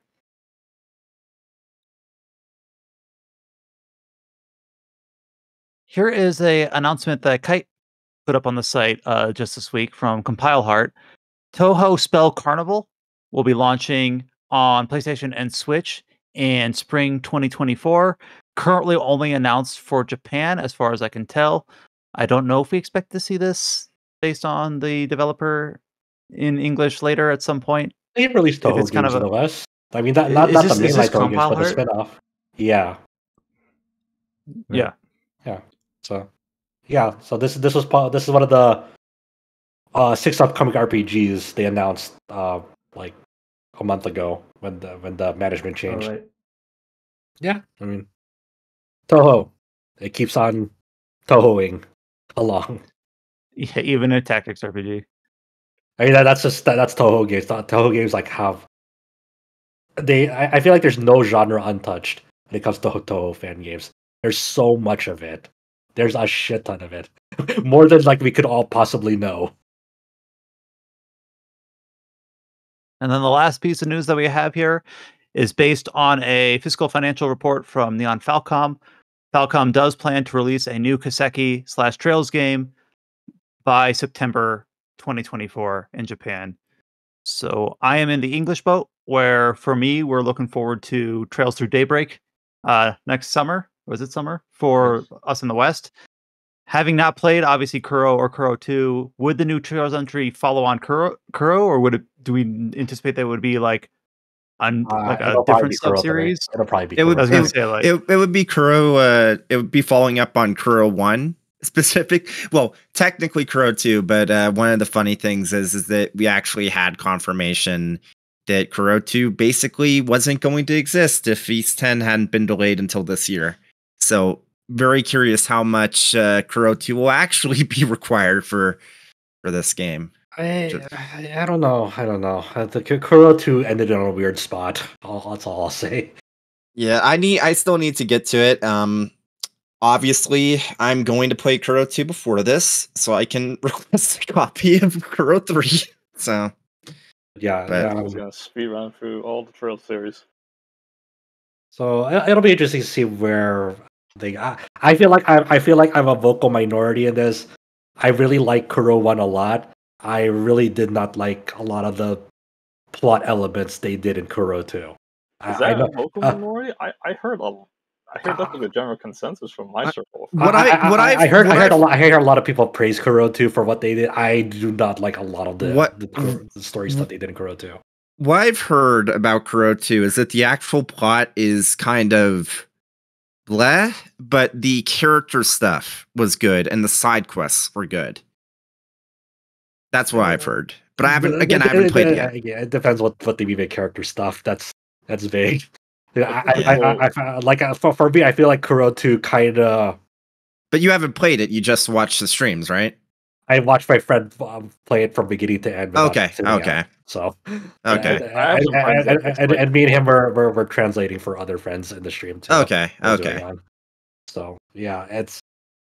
Ooh, from, from, from an outside perspective, there seemed to be a lot of excitement from Kuro One, so I'm excited for Daybreak. yes, for, a- for a multitude of reasons for moving away from Erebonia, for the new gameplay elements, the new engine elements. And then Kuro 2 just kind of felt like it came and went from my perspective. Yeah, like, oh, yeah. it's like it, it I- I will- the same highs. I will say that it sounds like at worst Kuro 2 is just it's not and I know a lot of people listening to this podcast do like Cold Steel 4, but again, you have to understand we are unfortunately not big fans of it. Uh from what from the vibe I'm getting, people that are disappointed in Kuro 2 aren't disappointed in the set in the way that people were disappointed in Cold Steel 4. It's just like, man, you could tell that it what it didn't need to exist and it shouldn't maybe shouldn't have ex- existed. It's probably like that circle that dislike Cold Steel 2. There's a circle that really hates Cold Steel 2 because they just feel like a filler game where the main plot didn't really move much until like the last end.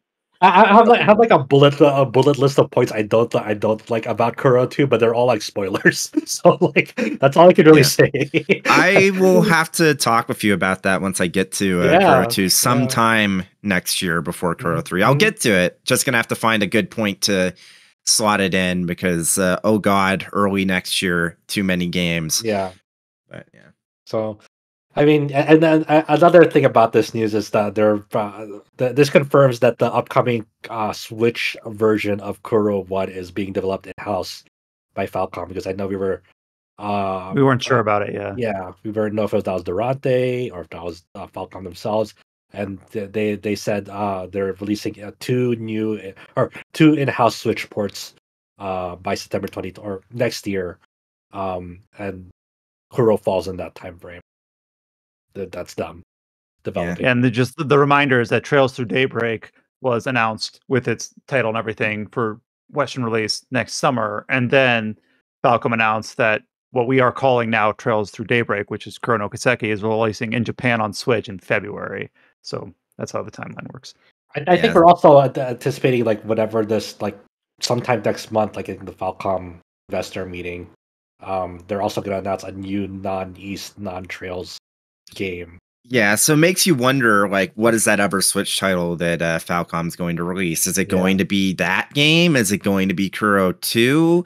Like, I was assuming that once they announced Kuro 1, that they were going to also try and get Kuro 2 out soon so they could have Kuro 3 be a day and date release for Switch. That would make sense, but who knows? Uh,